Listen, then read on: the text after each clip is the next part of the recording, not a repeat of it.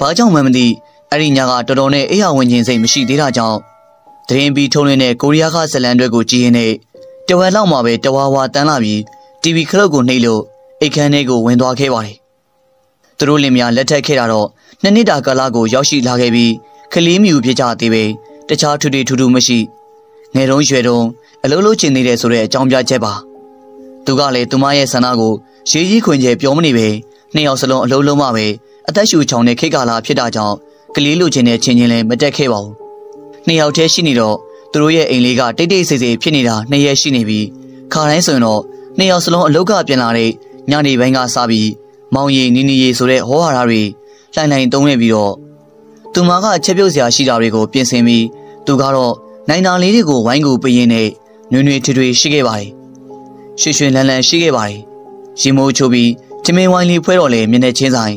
သူစားကိုစားနဲ့ဟင်းကောင်းလေးတစ်ဖက်ကပကံတစ်ခုထဲမှာလွန်ဆွဲနေပါတယ်။ညပိုင်းအနားယူတော့လေတနေ့တာတွေ့ကြုံခဲ့ရတာလေးတွေကိုတယောက်နဲ့တယောက်ဖလှယ်ရင်းနဲ့အချိန်တွေဆိုတာဘလို့ကုန်မှန်းမသိ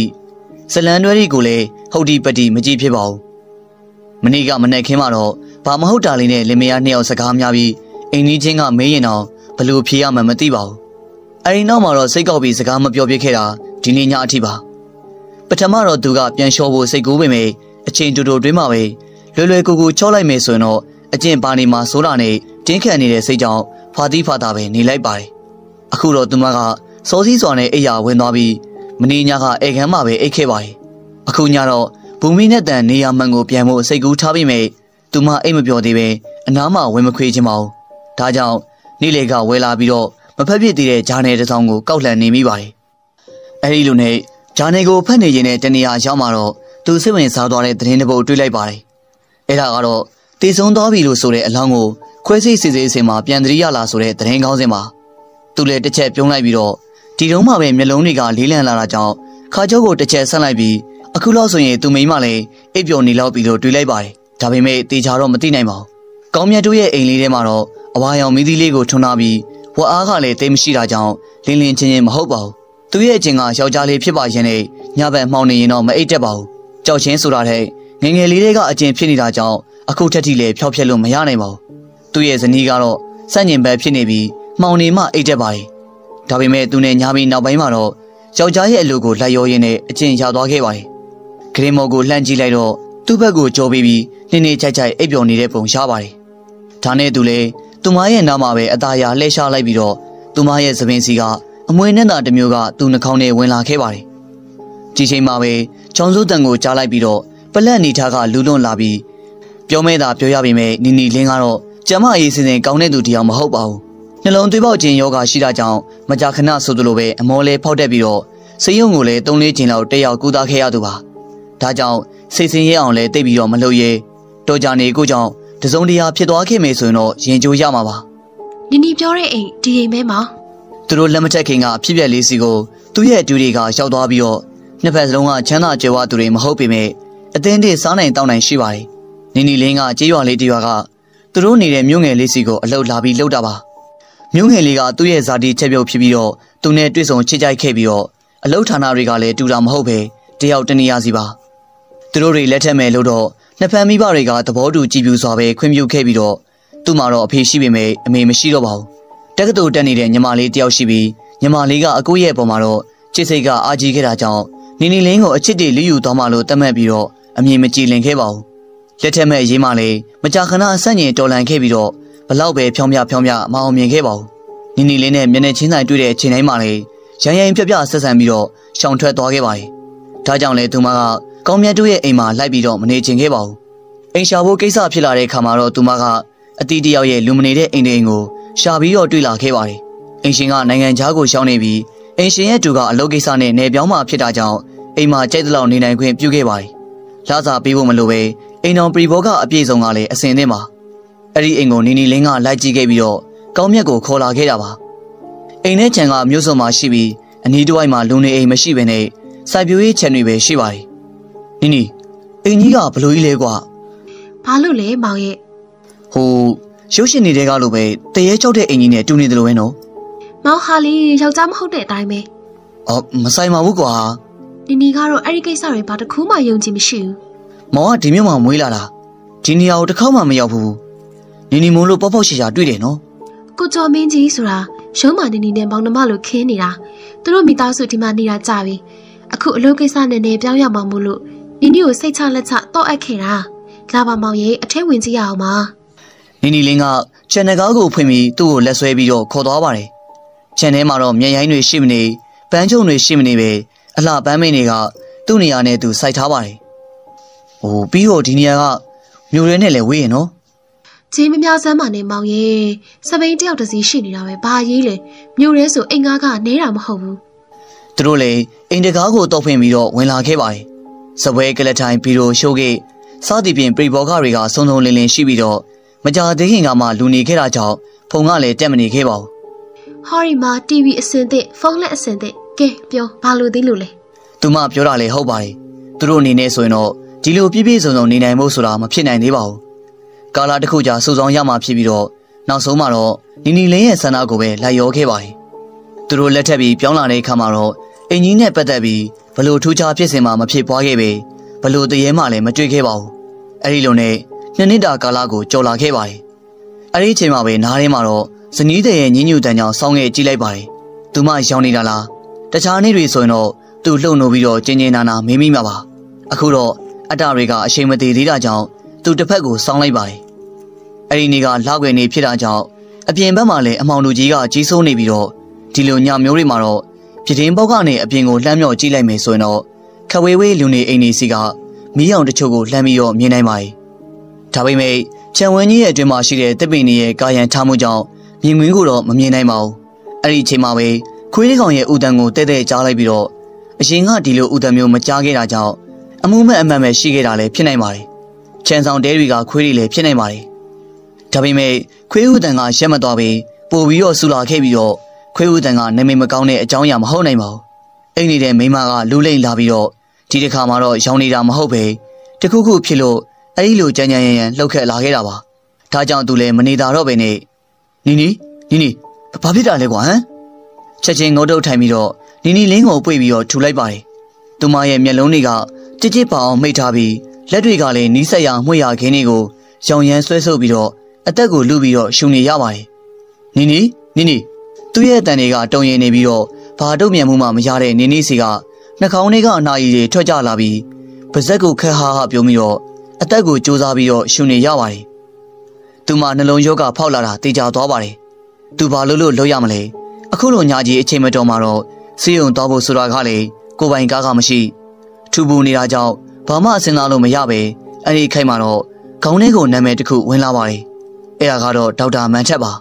နှစ်ယောက်လုံးနဲ့ရှင်းနေတဲ့ဆရာဝန်ဖြစ်ပြီးကိုပိုင်ကားလည်းရှိပြီးတော့ဖုံးဆက်အကြောင်းကြမယ်ဆိုတော့အကူအညီပေးနိုင်တယ်ဆိုတဲ့အတွေ့နဲ့သူ့စီကိုဖုံးဆက်ဖို့ပြေးသွားလိုက်ပါတယ်ဒေါက်တာမန်ချက်ကတော့ဂရင်းပေါ်မှာငြိမ်သက်နေတဲ့နီနီလင်းရဲ့မျက်ခုံးတွေကိုဆွဲလန့်ပြီးတော့အသေးစားလက်နဲ့ဓမီလေးနဲ့စေးစေးဆက်ဆက်ကြည့်နေပါတယ် ဆရာကျွန်တော်မိမကိုကဲပါအောင်ဆရာရဲ့ကျွန်တော်ဆရာရဲ့ကျေးဇူးကိုမမေ့ပါဘူးဆရာရဲ့သူကတူတူပြောနေပေမဲ့ဒေါက်တာကသူ့ကိုဂရုမစိုက်ပဲသူ့ရဲ့အလုပ်ကိုပဲဆက်ပြီးတော့လုပ်နေပါတယ်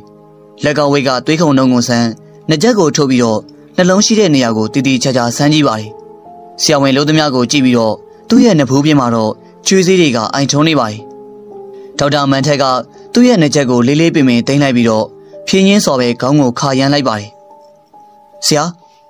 အဲအဲ့ဒါဘာကိုပြောတာလဲဗျခမ ्या မိမအသက်မရှိတော့ဘူးဗျာဗျာသူတေပြီလို့ပြောရလားဆရာဟုတ်ပါတယ်ဗျာသူ့ရဲ့ခေါင်းထဲမှာမိုက်ခနဲဖြစ်သွားပြီးတော့ဒူးတွေကလည်းမခံရင်ဂရင်ဘေးမှာထိုင်ချလိုက်မိပါတယ်အဖြစ်ပြက်တွေကအဲ့ဒီလောက်မြန်ဆန်တာနဲ့လားတေချင်းတရားကအဲ့ဒီလောက်ထိပြင်ဆလက်ဆန်ခဲ့တာလားရုံးကပြန်လာတော့ကလည်းအကောင်ခေါင်းလျှော်တော့လည်းအကောင်ထမင်းစားတော့ကလည်းအကောင် TV ကြည့်နေတော့ကလည်းအကောင်ပါဒီလိုအကောင်တွေကြားတဲ့က တင်မင်းကအခုလိုပဲလှလှပပနဲ့ဆွဲခေါ်သွားရတာလားဆရာကျွန်တော်စေးုံပို့ချင်သေးတယ်ဆရာရေဆရာဝန်ကသူ့ကိုဖြတ်ကနေလှမ်းကြည့်ပြီးတော့မျက်လုံးထဲမှာတော့ဒေါသရိတ်တွေတန်းနေပါတယ်ခင်ဗျာကျွန်တော်တိတ်ခါကိုစော်ကားတာလားအော်မဟုတ်ပါဘူးဆရာကြီးမဟုတ်ပါဘူးသူပြပြတယ်လေတောင်းပန်လိုက်ပါတယ်ဇောအဟုံကျောင်းသာပြောမိပေမဲ့တကယ်မှာတော့သူ့ရဲ့စိတ်မှာလက်ခံတယ်လို့လို့တော့ရှိနေပါပြီဆရာဝန်ကတော့ပညာတတ်ပြီးပြီပဲမကျေနပ်မှုတွေကိုမျိုးသိပ်ပြီးတော့ ကောင်းကောင်းမွန်မွန်ဆက်ဆံပြီးတော့မကြခင်ပဲပြန်သွားခဲ့ပါတယ်အခုတော့အင်ကြီးထဲမှာတော့လူတယောက်နဲ့အလောင်းတလောင်းပဲကြံရိတ်ခဲ့ပြီးတော့သူ့ရဲ့ဇနီးတဲ့လေးရဲ့ပါးလေးတွေနှဖူးလေးတွေနှကန်းလေးတွေကိုတိုတီတိုတီလိုက်ဆန်းနေမိပါတယ်မောင်တို့အဖေကဘလောက်ရှင်နေအောင်စရာကောင်းလိုက်လေနင်းနေရဲ့တယောက်နဲ့တယောက်အခေါ်ပြောမရှိခင်မှာလမ်းခွဲလိုက်ရတဲ့အဖြစ်ပါကွာမောင်အစားကသာတီးခဲ့ရင်တော့နီနီကိုရှော့မှာပါကွာနီနီကျင်နေအောင်မောင်တောင်းမှမှာပါကွာသူလေ အယူတယောက်လိုတယောက်တည်းရေရွရင်းနဲ့နင်းနေတဲတဲနဲ့ပဲကြေကွဲနေမိပါတယ်နောက်နာတရားတို့ကလည်းအချီးနှီးပါနာယီကိုလှမ်းကြည့်လိုက်တော့တနာယီထုံးနေပါပြီသူ့ရဲ့ဖေစီကိုဖုံးဆက်ဖို့ကလည်းအိမ်မှာဖုံးမရှိတာကြောင့်ဆက်သွယ်လို့မဖြစ်ပါဘူးသူတို့ရဲ့မြို့လေးမှာတော့အေးအေးခန်းကလည်းမရှိမိတကြိုဆက်ကလည်းမရှိတာကြောင့်အိမ်မှာထားပြီးတော့မြေမြုပ်တကြိုဖို့ပါသူလည်းအခန်းတော်တနေရာမှာကြောမီထိုင်ချလိုက်ပြီးတော့မလန်မကန်းကအလောင်းကိုမမိတ်မတုံငေးမောကြည့်ရှုနေမိပါတယ် သူဖတ်ခဲ့မှုတဲ့စာရဲမှာတော့လူတယောက်တည်ဆုံးသွားရင်သူ့ရဲ့ဝိညာဉ်ကအနာမဝယ်ရှိနေတတ်တယ်ဆိုတာကြောင့်နီနီမင်းငါနားမှာရှိနေပြီလားဒီတွေးတွေကြောင့်ကြောက်တလူလိုဖြစ်လာခဲ့ပြီးအနီးနားမှာဝေဝဲနေမဲ့ဝိညာဉ်ကိုလည်းစိတ်ကူးနဲ့ကြည့်နေမိပါတယ်ဘယ်နေရာကများကြွကြွကြွကြွမြည်လိုက်မလဲဘယ်နေရာကများရိုးတိုးရည်တွေကိုထင်ပြမလဲမတည်ဆုံးခင်တည်းကသူ့ကိုမုန်းတဲ့စိတ်နဲ့တမလွန်ထိပါသွားမလားအတွေးတွေကတဖြည်းဖြည်းနဲ့ကျေပြန့်လာပြီးတော့ จิตသိမ်မွင်းချင်းတွေထပ်လာခဲ့ပါတယ်နီနီမင်းငါ့ကိုတော့ချောက်မှမဟုတ်ပါဘူးနော်ငါကြောက်တဲ့တာမင်းလည်းသိပါရဲ့နော်အဲ့ဒီအချိန်မှာပဲခွေးဦးတန်တွေကပြန်ကြားလာရပြီးတော့ဒီတစ်ချိန်မှာတော့တကောင်နဲ့မဟုတ်ပဲတုံလေးကောင်ကစုပြုံပြီးတော့ဥနေတဲ့အတန်မှာစေမချင်မတာဖြစ်ရတာကတော့ပြောဖို့ရမရှိပါဘူးသူလေတောင်ရင်းမြောက်တွေကျွင်းနေပြတင်းမော့စီကိုလှမ်းကြည့်လိုက်တော့ဖြူဖြူအရေးတစ်ခုကဖြတ်ခနဲ့တွေးလိုက်ပါတယ်ဟင်ဒါပါလေ စိတ်ထဲကအလိုလိုထင်သွားပြီးတော့စိတ်ကိုအာတင်ပြီးရိုင်ခွေနေတဲ့ခြေလန်းနေနဲ့ပြတင်းမော့စီကိုတွားကြည့်မိပါတယ်ဘာမှမရှိပါဘူးညညူတန်တစ်ခုကထွက်ပေါ်လာပြီးတော့လမ်းဖြတ်ပြီးအလောင်းစီကိုကြည်လိုက်မိပါတယ်အလောင်းစီကလည်းမဟုတ်ပါဘူးဘာပဲဖြစ်ဖြစ်သူကတော့အခန်းထဲမှာမနေရတော့ပဲအိမ်ထဲမှာသွားနေမယ်လို့ဆုံးဖြတ်ပြီးတော့အခန်းတကားကိုဖွင့်လိုက်ပါတယ်ကြက်မထိုးထားပေမဲ့အခန်းတကားကဖွင့်လို့မရတော့ပါဘူးအရင်တုန်းကအသားရဖွင့်လို့ရတဲ့တကားကအခုဆိုရင်တော့ အားနဲ့တွန်းဖွင့်လဲဖွင့်လို့မရခဲ့ပါဘူးခွေးဦးတန်တွေကလည်းစိုးတဲ့ဆိုးလာခဲ့ပြီးတော့နီးတဲ့နီးလာပါတယ်မောင်ဟင်သူနောက်ကိုကြပြားကြရလှည့်ကြည့်လိုက်ပါတယ်။လောင်းကပုံမပြက်ပဲမူလအတိုင်းပဲရှိနေခဲ့ပါတယ်။မင်းမင်းငါ့ကိုခေါ်လိုက်တာလားနေနေပြောလေမင်းငါ့ကိုခေါ်လိုက်တာလားလို့သူ့ရဲ့တကောလုံးကချွေးတွေရွှဲနေနေပြီးတကားကိုကျုံမိပြီးတော့တခန်းလုံးကိုပြပြတလဲနဲ့လိုက်ကြည့်နေမိပါတယ်။မောဟိုင်လုံးနေတာကြောင့် စကားတွေကဖြောင်းဖြောင်းတန်တန်မပြောနိုင်မေအခုတော့အချင်းနဲ့အကြောက်တရားကတကန်းစီပါလားလို့သဘောပိုက်မိပါတယ်။ဒီတုန်းကပဲ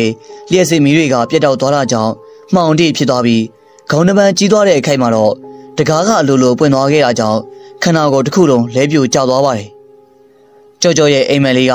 အခုမှပဲကောင်းကန်းကိုရှောက်ပြီးတော့ကောင်လေးကချိုးတာမှတော်တော်ကိုချိုးပြီးသူမရဲ့စိတ်ကူးနဲ့ပုံပေါ်ထားတဲ့ကောင်လေးလေးကတော့တစ်ထက်သေးပါ။ကောင်လေးကသူမကို ရှင်ဝင်ထဲကိုထည့်ပြီးတော့အကျဉ်းသားတွေပေးနေပါတယ်။အလုံးမဲ့မိမိမူမူရှိလာတဲ့ခံစားမှုပင်မနွမ်းလျစွာတာယာခဲရတဲ့တက်မှတ်မှုအဲ့ဒီနောက်မှာတော့သူမရဲ့လေတိုင်လေးစီကိုခရီးဆက်နေပြန်ပါတယ်။ကဘာကြီးကိုတောင်သူမတကယ်မေ့သွားပါပြီ။ဒီလိုနဲ့အိမ်မက်မက်လို့ကောင်းနေတဲ့အချိန်မှာပဲဟဲ့မိကျော်မိကျော်ထားစမ်းထားစမ်းခက်ချမ်းချမ်းတကားခောက်တန်တဲ့အတူတော့အဖေဥပမြန်ရဲ့အတန်ဝါဝါကြီးကသူမရဲ့အိမ်မက်ကိုနိုင်လုံးမင်းထက်ဖျက်ဆီးလိုက်ပါတယ်။ဟဲ့ ထဆိုမြန်မြန်ထလိကွာ။အဲ့ဒီလိုနဲ့တကားကိုဖွင့်လိုက်တဲ့အခါမှာတော့ညကနေနီလင်းဆုံးသွားပြီကြီးတဲ့ရှင်သူမအလွန်အံ့ဩသွားပါတယ်။နှလုံးရောဂါရှိမှန်းသိပေမဲ့ဒီလောက်မြန်မြန်ဆန်ဆန်ဖြစ်သွားလိမ့်မယ်လို့ဘယ်တော့မှမထင်ခဲ့ပါဘူး။အဲ့ဒီကိစ္စအတွက်လေသူမဝမ်းနဲ့ကြည်ခွဲမှုဖြစ်လာလို့မေးကြည့်ရင်တော့ဖြစ်မှာမဟုတ်ပါဘူး။အကြောင်းကတော့သူမချစ်တဲ့အကူနဲ့ပတ်သက်ပြီးတူတူခါခါမုန်းတီးနေတာကြောင့်ကဲမျက်နှာတဲ့အဝဲစားလဲပြီးရင်ငါနဲ့လိုက်ခဲ့ ဟင်ဘယ်လဲဟာဘယ်ဖြစ်ရမှာလဲသမီးရဲ့နင့်ကိုမိမရဲ့နာရေးကိုပေါ့အိုးဘာဆိုင်လို့လိုက်ရမှာလဲမလိုက်ချင်ပါဘူးဘာပြောလိုက်တယ်မိကျော်ပြေးကြီးမှဒီမိသားစုပဲရှိတာဒါตาရေးမဟုတ်ဘူးနော်နာရေးသမီးမအဲ့ဒီကောင်မကိုကြည့်မိရတာနင်ရိုင်းလာကြည်လားဟမ်လူမဟုတ်သေးရဲ့လားနင်စကားကိုဘေးလူတွေကြရင်ဘလောက်တော့အမြင်ကက်စရာကောင်းလိုက်လေဟမ်ဟိုမှာတည်တဲ့လူကတိတ်နေပြီဒါတော့နင်ကဒီစကားမျိုးကိုပြောရတယ်ပေါ့တွားငါပြောတဲ့စကားနားထောင် အဖေရဲ့ဒေါသကိုတော့ကြောကြောကလန့်လာကြောင်းနီးစရာနဲ့လေကောက်ပြီးထူထက်တဲ့အဖေပါဘယ်သူဘယ်ဝါရဲ့လို့ငဲညာနေမှာမဟုတ်ပါဘူးဒါနဲ့အချုံမတက်ရေတော့ပဲဆက်လေးကိုပူပြီးတော့အသာငိန်နေရပါတယ်သူမလည်းရေချိုးရင်းနဲ့အဝတ်စားလဲနေရင်နဲ့တွေးမိတွေးရတော်တော်များများတွေးမိနေပါတယ်။သူမရဲ့အကုံနဲ့ပတ်သက်လာတဲ့အချိန်တုန်းကမကြာခဏဆိုသလိုရံပြေးခဲ့ရတဲ့ပြဿနာတွေပါ။သူမရဲ့ဆန္ဒကတော့ရှင်းရှင်းပါ။သူမကိုရဲ့ချစ်ချင်းမေတ္တာတွေကို ဘသူကမှလွှဲပြီးတော့မပေးနိုင်ပါဘူးဒါတော့နည်းနည်းလွန်တာပေါ့မတ်ကျော်ရေမမတို့နှစ်ယောက်ချစ်သူတွေဖြစ်ပြီးအိမ်တော်ပြုတ်ဖို့တောင်တိုင်ပင်ထားကြပြီပဲ။အိုးမရဘူးမရဘူးဘယ်နည်းနဲ့မှသဘောမတူနိုင်ဘူးကိုကိုကိုဘယ်မိမလက်ထဲမှမအပ်နိုင်ဘူးဒီလောက်မရိုင်းဆိုင်ပါနဲ့မတ်ကျော်ရေဘာရေကျမရိုင်းနေဟုတ်လားကျမတော့ရှင်တို့လိုပျော့ပျော့နေနေနဲ့ကြောင်ချင်းမျိုးမဟုတ်ဘူးရှင်ထဲမှာရှိတာပုပ်ပွေလေးလေးပြောချလိုက်တာပဲမကြည့်နဲ့လဲသေးလိုက် အခုပြောနေတဲ့စကားလုံးတွေရောမရှင်းသေးဘူးလားပြောပြီးပြီလေမကြင်နဲ့လဲသိလိုက်ပါလို့ကောင်းပြီလေမိကျော့ငါဘက်ကလည်းနင်သဘောမတူတဲ့လူကိုမှတိတိကျကျယူပြအောင်မယ်မှတ်ထားဘာပြောတယ်။မပြေလည်မှုတွေကအဲဒီကနေစတင်ပြီးနောက်ပိုင်းမှာတော့စင်ကစင်ကနဲ့ကြီးကျယ်လာခဲ့ပါတယ်။ကြောကြောကနီနီလင်းနဲ့အရင်ကရှင်းနေခဲ့မှုတဲ့ယောက်ျားတွေကိုရှိသားရောင်ရောင်ချစ်သူဖြစ်ခဲ့ရောင်ရောင်ဇလန်းစင်ပြီးတော့အကိုစီကိုဂုံချော်ခဲ့ပါတယ်။ နီနီလင်းရဲ့အားနည်းချက်တွေပြောခွက်တွေ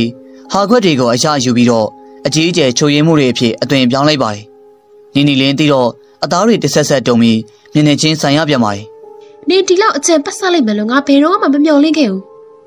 ဒါအကြံပတ်ဆက်တာမဟုတ်ဘူးအဖြစ်မှန်တွေအဖြစ်မှန်တွေငါအဲ့ဒီလူနဲ့တယုံနေသားတွေမျိုးရင်းနှီးနေခဲ့တာဘသူကရောအခုချိန်မှာဟုတ်ပါတယ်လို့ဝန်ခံပါလေနင်တရားလိုနေနင်တရားလိုလိုနေပြီနော်မိကျော့ အနာဘောတို့ကြတော့နာကျက်လိုက်တာနေဟာကသူများမကောင်းကြံနေတာပဲအရှုပ်တမမဘာပြောတယ်ကျော်ကျော်ကသူမကိုအဲ့ဒီလိုပြောရမလားဆိုပြီးတော့နီနီလင်းကိုပါတစ်ချက်ရိုက်လိုက်တော့လေထွက်သွားပါတယ်။ငွေစိတ်ကငယ်လေးတက်ဆောင်သွားပြီးနောက်ပိုင်းမှာတော့နှစ်ယောက်သားလည်းလုံထွေသွားပါတယ်။ထိမနိုင်သိမရဖြစ်သွားပြီးတော့ဒီကြားထဲမှာနီနီလင်းကအကိုကိုလက်ထက်ယူလိုက်တာကြောင့်ကဘာပေါ်မှာအမုန်းဆုံးလူဖြစ်သွားခဲ့ပါတယ်။အခုတော့နီနီလင်းဆုံးသွားပါပြီ။ဟဲ့မိကျော်မပြီးသေးဘူးလား။ သူမအဖေရဲ့အတန်းကြောင့်အဝယ်စားအမြန်လဲလဲရပါတယ်။ကြော်ကြော်တို့သားဖားလေဆိုင်ငယ်တစ်စီးနဲ့ကောင်းမြတ်အိမ်ရှိကိုရောက်သွားတဲ့အချိန်မှာတော့မြူနေနေကမကွဲသေးပါဘူး။အိမ်ရဲ့ရှိမှာဆိုင်ငယ်သုံးစီးရထားတာမြင်တာကြောင့်ဘသူတွေရောက်နေပါလဲဆိုတဲ့အတွေ့နဲ့ဆိုင်ငယ်အိမ်ရှိကိုရောက်ရောက်ချင်းမှပဲကောင်းမြတ်ရဲ့တငယ်ချင်းမြင့်နိုင်ကထွက်ပြီးတော့ကြိုးပါတယ်။အော်ဦးလေးရောက်လာပြီလား။အေးကွာဦးလေးလည်းဒီမနေ့မှသတင်းကြလို့ချက်ချင်းထွက်လာတာ။ဘလို့ဖြစ်တာလဲကွာဟိုကောင်ရော အပေါ်ထက်မှာငုံငုံကြီးထိုင်နေတဲ့ဦးလေးရဲ့ကျွန်တော်ကလည်းစကားသိမ့်မပြောဘူး။မေးရတော့ပဲပြောတာ။ညတနာရီလောက်ကအသက်ရှူကျက်ပြီးတော့ဘာတခွန်းမှမပြောနိုင်ပဲဆုံးသွားတာတဲ့အဲ့ဒါကျွန်တော်လည်းဖုန်းဆက်လို့တည်တည်ချင်းပဲနောက်ထပ်တငယ်ချင်းတွေကိုခေါ်ပြီးတော့အတော်တယောက်ကိုလည်းခေါ်ပြီးတော့အမြန်လာခဲ့တာအိတ်ခမ်းထဲမှာပဲအလောင်းပြင်ထားတဲ့ဦးလေးရဲ့မနေ့မှပဲအခေါင်းသွင်းပြီးတော့အိမ်ရှိထုတ်ရမှာဥပမြိုင်လည်းအိတ်ခမ်းထဲကိုဝင်လိုက်တော့ကျန်တဲ့တငယ်ချင်းနှစ်ယောက်နဲ့အတော်ကြီးတယောက်က အလောင်းရဲ့ဘေးမှာထိုင်ပြီးပန်းပွင့်လေးတွေကိုစီရီခင်းနေပါတယ် ကြောကြောကတော့ဖခင်နားမှာကက်နေပြီးအလောင်းစီကိုမဝင်မရဲကြည့်နေပါတယ်အိပ်ပျော်နေတာနဲ့ဘာမှမချာဒီအချိန်ရောက်တော့မုံနာမမုံနာကလည်းရင်ထဲမှာမရှိတော့ပါဘူးငါးကုံများ၆ရင်ဆိုတဲ့စိတ်လေးကဝင်လာပြီးတော့နင်းနေတော့လန်သွားပါတယ်သူ့ရဲ့မိဘတွေရောဟိုဒီမနေ့ပဲအကြောင်းကြားထားပါတယ်ဟိုမြို့ကနေရွာထိသွားပြရမှာဆိုတော့ခရီးကလည်းထောက်တယ်လေသူ့ရဲ့ဆွေမျိုးသားချင်းတွေကတော့ဒီနေ့တော့ရောက်လာနိုင်မှာမဟုတ်ဘူးဗျမနေ့ပြန်လောက်မှပဲလာနိုင်မယ်အေးလေ ခရီးကလည်းဝေးတာကိုကွဒါနဲ့အာတုဘကိစ္စတွေရောဟိုအလောင်းမြင့်ကြတဲ့အထိတော့ကျွန်တော်တို့တွေတာဝန်ယူမှာပါဦးလေးကလည်းဘာမှလုံးနိုင်မှာမဟုတ်ဘူးလေဒီတငယ်ချင်းတွေကလည်းရုံးမှခွင့်ယူပေးကြမှာပါအေးပါကွယ်မင်းနာမည်ကမောင်မြင့်နိုင်နော်ဟုတ်ပါတယ်ဦးလေးအေးအေးကောင်းမြတ်အိမ်တော်မကြခင်ကတော့အိမ်ကိုမကြခဏလာနေတာပဲကွာနာမည်ကတော့မေးတီတီဖြစ်နေတာအခုလိုအရေးတကြီးအားကိုးရတော့ကျေးဇူးတင်ပါတယ်ကွယ်ကဲကဲရော့ လောလောဆယ်တော့ဒီငွေလေးကိုလိုတဲ့နေရာတော့စရင်လေးတော့လှုပ်ထားပေါ့ကွယ်နော်အဲဒီနောက်မှာတော့အပေါ်ထက်ကိုတက်လာခဲ့လိုက်ပြီးဝရန်ဒါမှာထိုင်ပြီးတော့အဝေးကိုငေးကြည့်နေတဲ့ကောင်းမြတ်ကိုတွေးလိုက်ပါတယ်။ကောင်းမြတ်လူလေးအရင်ပဲစိတ်ထိခိုက်နေလားကွာ။ဖြစ်လာပြီးမှတော့တားရဲ့အာတင်ထားစမ်းပါ။တည်တဲ့လူကလည်းပြန်ပြီးတော့ရှင်လာမှမမဟုတ်တာကွာ။သူ့ရဲ့နောက်ဆုံးခီးကိုကောင်းကောင်းမွန်မွန်လေးတကြိုပေးနိုင်မှုကအထီးကပဲ။အဖေတို့လည်းတားလို့ပဲခံစားရပါတယ်။တားလို့အပ်တာပြော အဖေတို့ဘက်ကအစင်းသိမယ်ကွယ်နော်။ကျွန်တော်တယောက်တည်းအေးစစ်စစ်နေခြင်းနဲ့အဖေဟာဒါနဲ့သူ့ရဲ့အဖေလည်းပြောလက်ဆက်စကားကိုရက်လိုက်ပြီးတော့ခေါင်းကိုအသာညှိပြီးအောက်ထက်ကိုဆင်းလာခဲ့ပါတယ်။အလောင်းနာကိုရောက်တော့ဘသူမှမရှိပါဘူး။မြင်းနိုင်တယောက်ပဲအပေါဝါမှာရှိနေခဲ့ပါတယ်။ဘယ်သွားကုန်တာလဲကွယ်။အော်ဟိုနာရီတွေလိုအပ်တာတွေဝယ်ဖို့တာဝန်ခွဲပြီးတော့ပေးလိုက်ပါပြီ။အော်အေးကောင်းနေကောင်းနေကွယ်။ဦးလေးလည်းအိမ်ခဏပြန်လည်အောင်မဲ့ကွယ်ဟိုကိစ္စရှိရင်တော့ချက်ချင်းလာခဲ့ကြလားကြော်ကြော်ကတော့ မပြန်ခင်အလောင်းကိုကြည့်လိုက်ပြီးသူမရဲ့မျက်ခုံးတွေတွန်းသွားပါတယ်အလောင်းကလက်တစ်ဖက်ကလှုပ်နေတယ်လို့ထင်ရတာကြောင့်မျက်လုံးတွေလည်းပြူးသွားပါတယ်ဒါပေမဲ့အဲ့ဒီကိစ္စကတော့ဖြစ်နိုင်စရာအကြောင်းမရှိပါဘူးတည်သွားတဲ့လူကဘာကြောင့်လှုပ်ရမှာလဲသူမထင်အောင်ထင်မှာဖြစ်တာဆိုပြီးတော့ပဲတွက်လိုက်ပါတယ်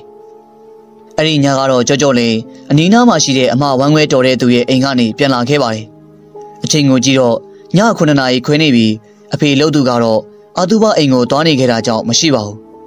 သူတို့မျိုးလေးမှာတော့ညဦးချိန်ကစပြီးလူသားလူလာကျဲတဲ့ပြီးတော့ခြံဝင်းကြဲကြဲတွေကလည်းရှိပြီးနေထိုင်သူဥယေကနေပါတာကြောင့်အတော်လာကလည်းနေပါပါတယ်။သူမလည်းပြင်းပြင်းရှိတာနဲ့ TV ခလုတ်ကိုနှိပ်လိုက်ပြီးသူမမကြိုက်တဲ့ဇလန်တွဲတွေကလာနေခဲ့ပါတယ်။မကြည့်ချင်ပေမဲ့ပေတီပြီးတော့ကြည့်လိုက်ပါတယ်။အဖေကတော့အောက်ဆက်ကိုခုထိဝယ်မပေးပဲမျက်စိနှောက်လို့လို့ပြောပါတယ်။အဲဒီလိုနဲ့ည၈နာရီထိုးတဲ့အထိအဖေကပြန်မလာသေးပဲ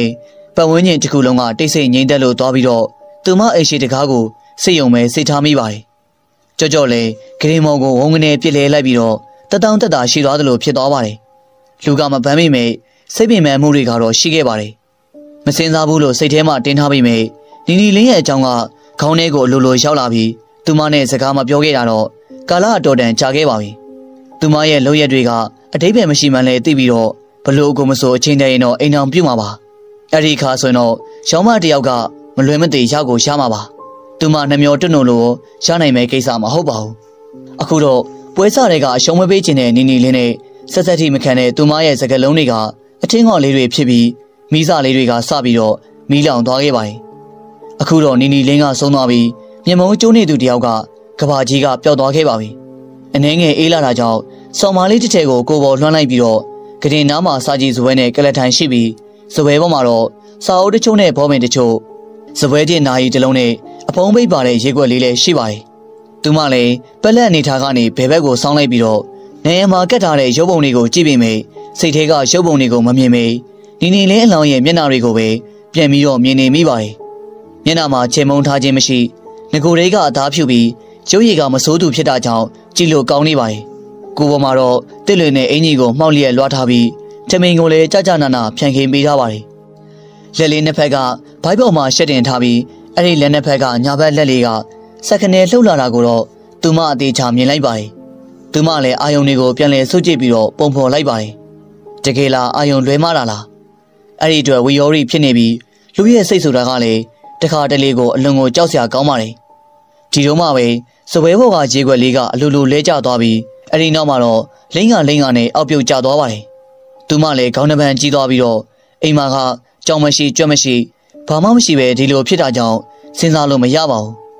။ဒီတော့မှပဲဖွင့်ထားတဲ့တကားကလေမတိုက်ဖ ೇನೆ တဖြည်းဖြည်းနဲ့စိတ်ပိတ်တယ်လို့ဖြစ်သွားပါတယ်။အဲ့ဒီထက်ဆိုးရတဲ့အဖြစ်ကတော့ခန္ဓာကိုယ်ပေါ်မှာခြုံထားတဲ့ဆောင်းကိုမမြင်ရတဲ့အရာတစ်ခုကခက်ကြံကြံဆွဲပြီးတော့ဖယ်လိုက်တာပါ။သူမလည်းခက်ကြဲကြဲလေးអော်လိုက်မိပြီးတော့ဆောင်းကဖြတ်ခနေပဲအခန်းတော်ကိုစုပုံရောက်ရှိသွားပါတယ်။ဒီလိုဆိုရင်တော့မမြင်ရတဲ့အရာတစ်ခုကအခန်းထဲကိုရှောင်းနေတာတေချာခဲ့ပါပြီ။ တစီတရေလားဒါမှမဟုတ်သူမကုံမုန်းနေတဲ့နီနီလင်းရဲ့ဝိညာဉ်လားဒါနဲ့သူမလည်းအခန်းထဲမှာမနေရတော့တာကြောင့်အပြင်ကိုထွက်ဖို့လှုပ်လိုက်ပါတယ်။အဲ့ဒီအချိန်မှာပဲစပွဲတင်နာကြီးလေးရဲ့ဘေးကိုရန်ကနေဖြစ်သွားပြီးတော့နိုင်ရန်မှာကက်ထားတဲ့ရုပ်ပုံတွေကလည်းကြောင်လက်တဲနဲ့ချစ်လိုက်တယ်လို့အစင်းလိုက်အစင်းလိုက်နဲ့ကြွာကြသွားပါတယ်။သူမလည်းနှစ်ဘူးသလိုအသားတွေကတက်ဆက်ဆက်တုံနေပြီးတော့မျက်လုံးတွေကပြူးကျက်ကျင်နေဂရင်မော်ကနေအာယူဆင်းလိုက်ပြီးကြောက်စိတ်တွေကြောင့်ခြေထောက်တွေကလှုပ်လို့မရပါဘူး။ ဒါပေမဲ့မန်မလျှော့ပဲအာတင်ပြီးတော့ဆင်းလိုက်ပါတယ်။ဒီတော့မှပဲခန္ဓာကိုယ်ကိုတစုံတရာကဝင်ပြီးတိုက်လိုက်တယ်လို့ခံစားလိုက်ရပါတယ်။ပါနှစ်ဖက်ကလည်းဘယ်ဘယ်ညာပြန်လေထွက်သွားပါတယ်။အမလီလို့သာအွန်နိုင်ပြီးတော့နောက်ပြန်လဲကျသွားပြီးနောက်ဆုံးမှသူမကြားလိုက်ရတဲ့စကားကမိကျော်မိကျော်ဘာဖြစ်တာလဲဘာဖြစ်တာလဲဟမ်ကောင်းမြတ်အဖေအိမ်မြန်အောင်မဲ့ကွယ်နော်အိမ်မှာကမင်းရဲ့ညီမလေးတယောက်တည်းရှိတာကွာနာယီကိုကြည့်လိုက်တော့ရှင်းနာရီချိုးကြီးဖြစ်တာကြောင့် ပြန်နေတယ်လို့တွေးလိုက်ပြီးကောင်းမြတ်ကိုပြောလိုက်ပါတယ်အခုထိလူမမာကြီးလိုဖြစ်နေတဲ့ကောင်းမြတ်ကသူ့ရဲ့အဖေပြန်မယ်လို့ပြောလိုက်တော့ခေါင်းငိမ့်ပြပါတယ်ဒီထက်တော့ဘာမှပုံမပြောခဲ့ပါဘူးအဖေကလည်းယောက်ျားချင်းမို့ကိုချင်းစားခဲ့ပါတယ်ကဲမောင်မြင့်နိုင်ဦးလေးပြန်အောင်မဲ့ကွာဟုတ်ကဲ့ဦးလေးမိုးတောင်ချုံနေပြီဗျကျွန်တော်လိုက်ဖို့ပြရမလားဟုတ်ရပါတယ်ကွာကိစ္စမရှိပါဘူးဦးလေးသွားလို့ဖြစ်ပါတယ်ကွာဒါနဲ့ဟိုကောင်ဘာမှမစားသေးဘူးမလားကျွန်တော်လည်းကြွေးတာပဲဦးလေးရဲ့ဘာမှကိုမစားချင်ဘူးတဲ့ ခခက်တာပဲကွာအစာမစားရင်လဲသွားမှာပေါ့ဦးလေးနွားတို့ယူလာခဲ့မယ်ဟိုပြီးရင်ကိတ်လေးနဲ့ချော့ပြီးတော့ကျွေးလိုက်အောင်ကွာနော်ဟုတ်ကဲ့ပါဦးလေးဦးဘမြိုင်လည်းဆိုင်ငယ်စီးပြီးထွက်သွားပြီးတော့မောင်မြင့်နိုင်ကဦးလေးခိုင်းတဲ့အတိုင်းပဲနွားတို့ကိုကြည့်ပြီးတော့ကိတ်မုံလှီးပြီးသူ့ရှိကိုယူလာပေးပါတယ်ကဲဒီတစ်ခါတော့ငါ့ကိုထော်တော်ကန့်လန့်မလုံးနဲ့ကွာမင်းရဲ့အဆိုင်ထဲမှာလည်းဘာမှရှိတာမဟုတ်ဘူးချော့ဒါလေးတော့တောက်လိုက်အောင်ငါဘာမှမစားချင်လို့ပါမြင်နိုင်ရဟာ အဲ့ဒါဆိုမင်းကျမကြီးကိုထိခိုက်မှာပေါ့ကွာနောက်နေ့မှလှုပ်ရှားတွေအများကြီးရှိသေးတယ်မင်းကကာယကံရှင်မနှက်ပြန်ဆိုရင်သူ့ဘက်ကအမျိုးတွေရောက်လာမှာမင်းကအဲ့ဒီချိန်မှာနေကောင်းနေဖို့အရေးကြီးတယ်ကွာတည်သွားလဲအေးတာပါပဲကွာမင်းစကားကလည်းကွာမင်းဒီတိုင်းလုပ်နေလို့လေတည်တဲ့လူကပြန်ရှင်လာမှာလားကွာဟမ်ခမိမကဒီနေ့ပြန်ရှင်လာမှာကွာဟမ်မင်းယူနေလားကွာဟမ်အတိပ္ပယ်မရှိတာလေမဟုတ်ဘူးကွာငါအသေးချောက်ကိုရှုံးကြီးနေတာ နီနီကတနေ့နေ့မှာပြန်ပြီးတော့ကိုရှင်းလာမှာမင်းကလေကွာတော်တော်စိတ်တက်ကြကြကောင်းတယ်မင်းကငါဘလို့ပြောရမှန်းမသိတော့ဘူးကဲပါကွာနောင်နိုကထားခဲ့လိုက်ငါမင်းကျင်နေအောင်တောက်ပါမယ်မင်းမေဝိုင်းနေဝင်ပြီးတော့ဆက်ပြီးကစားလိုက်တော့ကွာအဲ့ဒီလုံနေနိုင်တန်စနစ်ချက်ကထွက်ပေါ်လာခဲ့ပြီးတော့ပင်မနွမ်းနေနေတဲ့တန်းကြောင့်သူ့ရဲ့မျက်လုံးတွေကလေးလန့်လာပါတယ်အိတ်ခမ်းထဲမှာတော့လျှက်စစ်မီးကထွန်းလာပြီးကျင်မှန်များစွာကြီးခဲ့တဲ့နီနီလင်းရဲ့အလောင်းကတော့မူလအတိုင်းပါ သူလည်းမိခင်နဲ့တန်းဝင်ပြီးတော့တစ်ချက်ငိုက်သွားပါတယ်ညားထဲမှာတော့တငယ်ချင်း၃ယောက်ရဲ့ပြောတန်ဆိုတန်တွေကမကြားတစ်ချက်ကြားတစ်ချက်နဲ့သူကလည်းလန်နိုးလာလိုက်ပျော်သွားလိုက်နေပါအဲ့ဒီလိုနဲ့မိခင်နဲ့တတိလေးသလိုဖြစ်သွားပြီးတော့ဘလောက်ကြာမှန်းမသိနောက်တစ်ချိန်နိုးလာတဲ့အခါမှာတော့ပဝင်းချင်းကိုကဲခဲကြည့်လိုက်တော့တငယ်ချင်း၃ယောက်ကလည်းအခန်းထောင်လေးမှာခွေခွေလေးအိပ်ပျော်နေပါတယ်အဲ့ဒီချိန်မှာပဲခက်တော်တော်လီကတိုက်ခတ်လာတာကြောင့်ပြင်းမောက်ကပိတ်ကာစားတွေကလှုပ်ရမ်းသွားပြီး မျက်နှာပေါ်လွှာထားတဲ့ပဝါစာလေးကလည်းလန်သွားတာကြောင့်တီတီပပပေါ်လာခဲ့ပါတယ်။လီနဲ့အတူပါလာတဲ့အေးတက်ကသူ့ကိုဖျက်ပြီးတိုက်ခတ်သွားတာကြောင့်မေယိုးတွေကလည်းကျင်တက်သွားပါတယ်။ခွေးဦးတန်တွေကိုကြားရပြီးတော့သူလည်းတော်တော်စိတ်ပြတ်သွားပါတယ်။သူ့ရဲ့မိမမဆုံးခင်ကလည်းဒီလိုကြက်တည်မင်္ဂလာမရှိတဲ့ခွေးဦးတန်တွေကဏီတန်းအစပြိုခဲ့တာပါ။သူ့ရဲ့ရင်ထဲမှာတော့ချင်းချင်းတူတူဆက်ရည်တန်းထွာလိုက်ပြီးတော့ဒီကောင်တွေရဲ့မျက်လုံးတွေမှာမကောင်းဆိုးရတဲ့ပုံရိပ်တွေများမြင်နိုင်စွမ်းရှိတာလားဒီလိုဆိုရင်တော့ ဒီကောင်တွေရဲ့မျက်လုံးတိဆောက်ပုံတံမြန်ပုံရိပ်တွေကိုမြင်မုံတို့ကလူထက်သားတယ်လို့ပြောရမှာပါတိတ်မကြခင်မှာတော့ခွေးဥတန်တွေကတိတ်သွားပြီးသူလေဒူးနှစ်ဖက်ပေါ်လက်တင်ပြီးတော့ငြိမ်ငြိမ်လေးနေလိုက်ပါတယ်လီလီတစ်ချက်ပြန်ပြီးဝေးလာပြီးတော့အလောင်းမော်ကနင်းစီပန်းလေးတစ်ပွင့်ကလှုပ်လီလှုပ်လက်နဲ့ကြမ်းမြင့်မော်ကိုကျလာပါတယ်အဲဒီလိုနဲ့နင်းစီပန်းလေးကတဖြည်းဖြည်းနဲ့သူ့နားကိုရှောက်လာပြီးခဏကြာမှတော့အင်ရှိကနေတောင်ဝေးခောက်တန်လို့လို့တစ်သားတုံးနဲ့တမန်တလင်းထိပြီးတော့ထွက်လာတဲ့အတန်မျိုးကိုကြားလိုက်ပါတယ်။ အတန်ကမြန်လဲမသွားနှိမ့်လဲမသွားဘဲနဲ့ခက်မှန်မှန်ပဲကြားနေရပြီးတော့အိမ်ထဲကိုဦးတည်နေကြောင်ခံမှန်းမိပါတယ်။ခလန်လန်းမှာတော့အပေါင်းအသင်းတွေရှိနေတာကြောင့်ကြောက်စိတ်ကရှိတယ်ဆိုပေမဲ့အထုထိတ်ကိုမရောက်ခဲ့ပါဘူး။အတန်ကနီးတဲ့နီးလာခဲ့ပါတယ်။အာသူဘအိမ်ဖြစ်တာကြောင့်တကားတွေကပိတ်ထားခြင်းမရှိပဲဘသူလဲလို့မေးခြင်းပေမဲ့အတန်ကလေချောင်းဝမှာတင့်နေပါတယ်။အဲ့ဒီတော့မှပဲတကားဝစီကနေပေါ်လာတဲ့ပုံရိပ်တစ်ခုပါ။သူထပြီးអော်လိုက်ပြီမဲ့သူ့ရဲ့အော်တန်ကလည်းထွက်မလာခဲ့ပါဘူး။ ပုံရိပ်တံကတော့အသက်80ကျော်ရှိတဲ့အဖွားအိုတယောက်ကကောက်ကောက်ကွယ်ကွယ်စပင်းတွေကကြောပေါ်ထိကျနေပြီးမျက်နှာကတော့ဘလို့စာဖွဲရမှန်းမသိပါဘူး။တာတီလန်အောင်ရုပ်ဆိုးပြီးတော့စိတ်မခံသူဆိုရင်တော့မျက်နှာကိုမျက်နှာနဲ့တခါတည်းမိလဲကျသွားနိုင်ပါတယ်။ဝတ်ထားတဲ့ဝိယုံက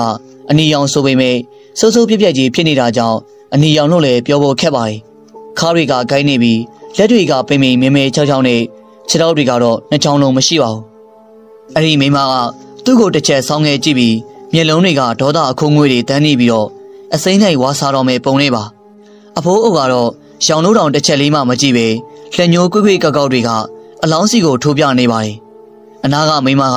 အလောင်းစီကိုတရွေ့ရွေ့နဲ့ထွက်သွားပြီးအဖိုးအုပ်ကတော့ကြံခဲ့ပါတယ်။အဲ့ဒီမှာကြည်ရင်ကြည်ရင်နဲ့အသက်ရှူတွေရမတက်ဖြစ်သွားပြီးတော့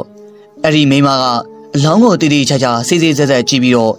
အတန်ကြာအောင်ကြည့်ပြီးတဲ့အခါမှာတော့အလောင်းရဲ့နားမှာကက်ပြီးတော့ ရှင်လဲပြီးအိတ်လိုက်ပါတယ်ဒီတော့မှပဲသူမရဲ့ပုံရိပ်တွေကပျောက်ကွယ်သွားခဲ့ပါတယ်အဲ့ဒီလိုပျောက်ကွယ်သွားတော့မှပဲအဖိုးအိုကအိမ်မြင်ကိုပြန်ပြီးတော့ထွက်သွားပါတယ်အဲ့ဒီအဖြစ်အပျက်တွေကြောင့်သူ့ရဲ့ခေါင်းတစ်ခုလုံးကမူကနေမိုက်ခနေဖြစ်သွားပြီးတော့ဒါတွေကအိမ်မက်လာ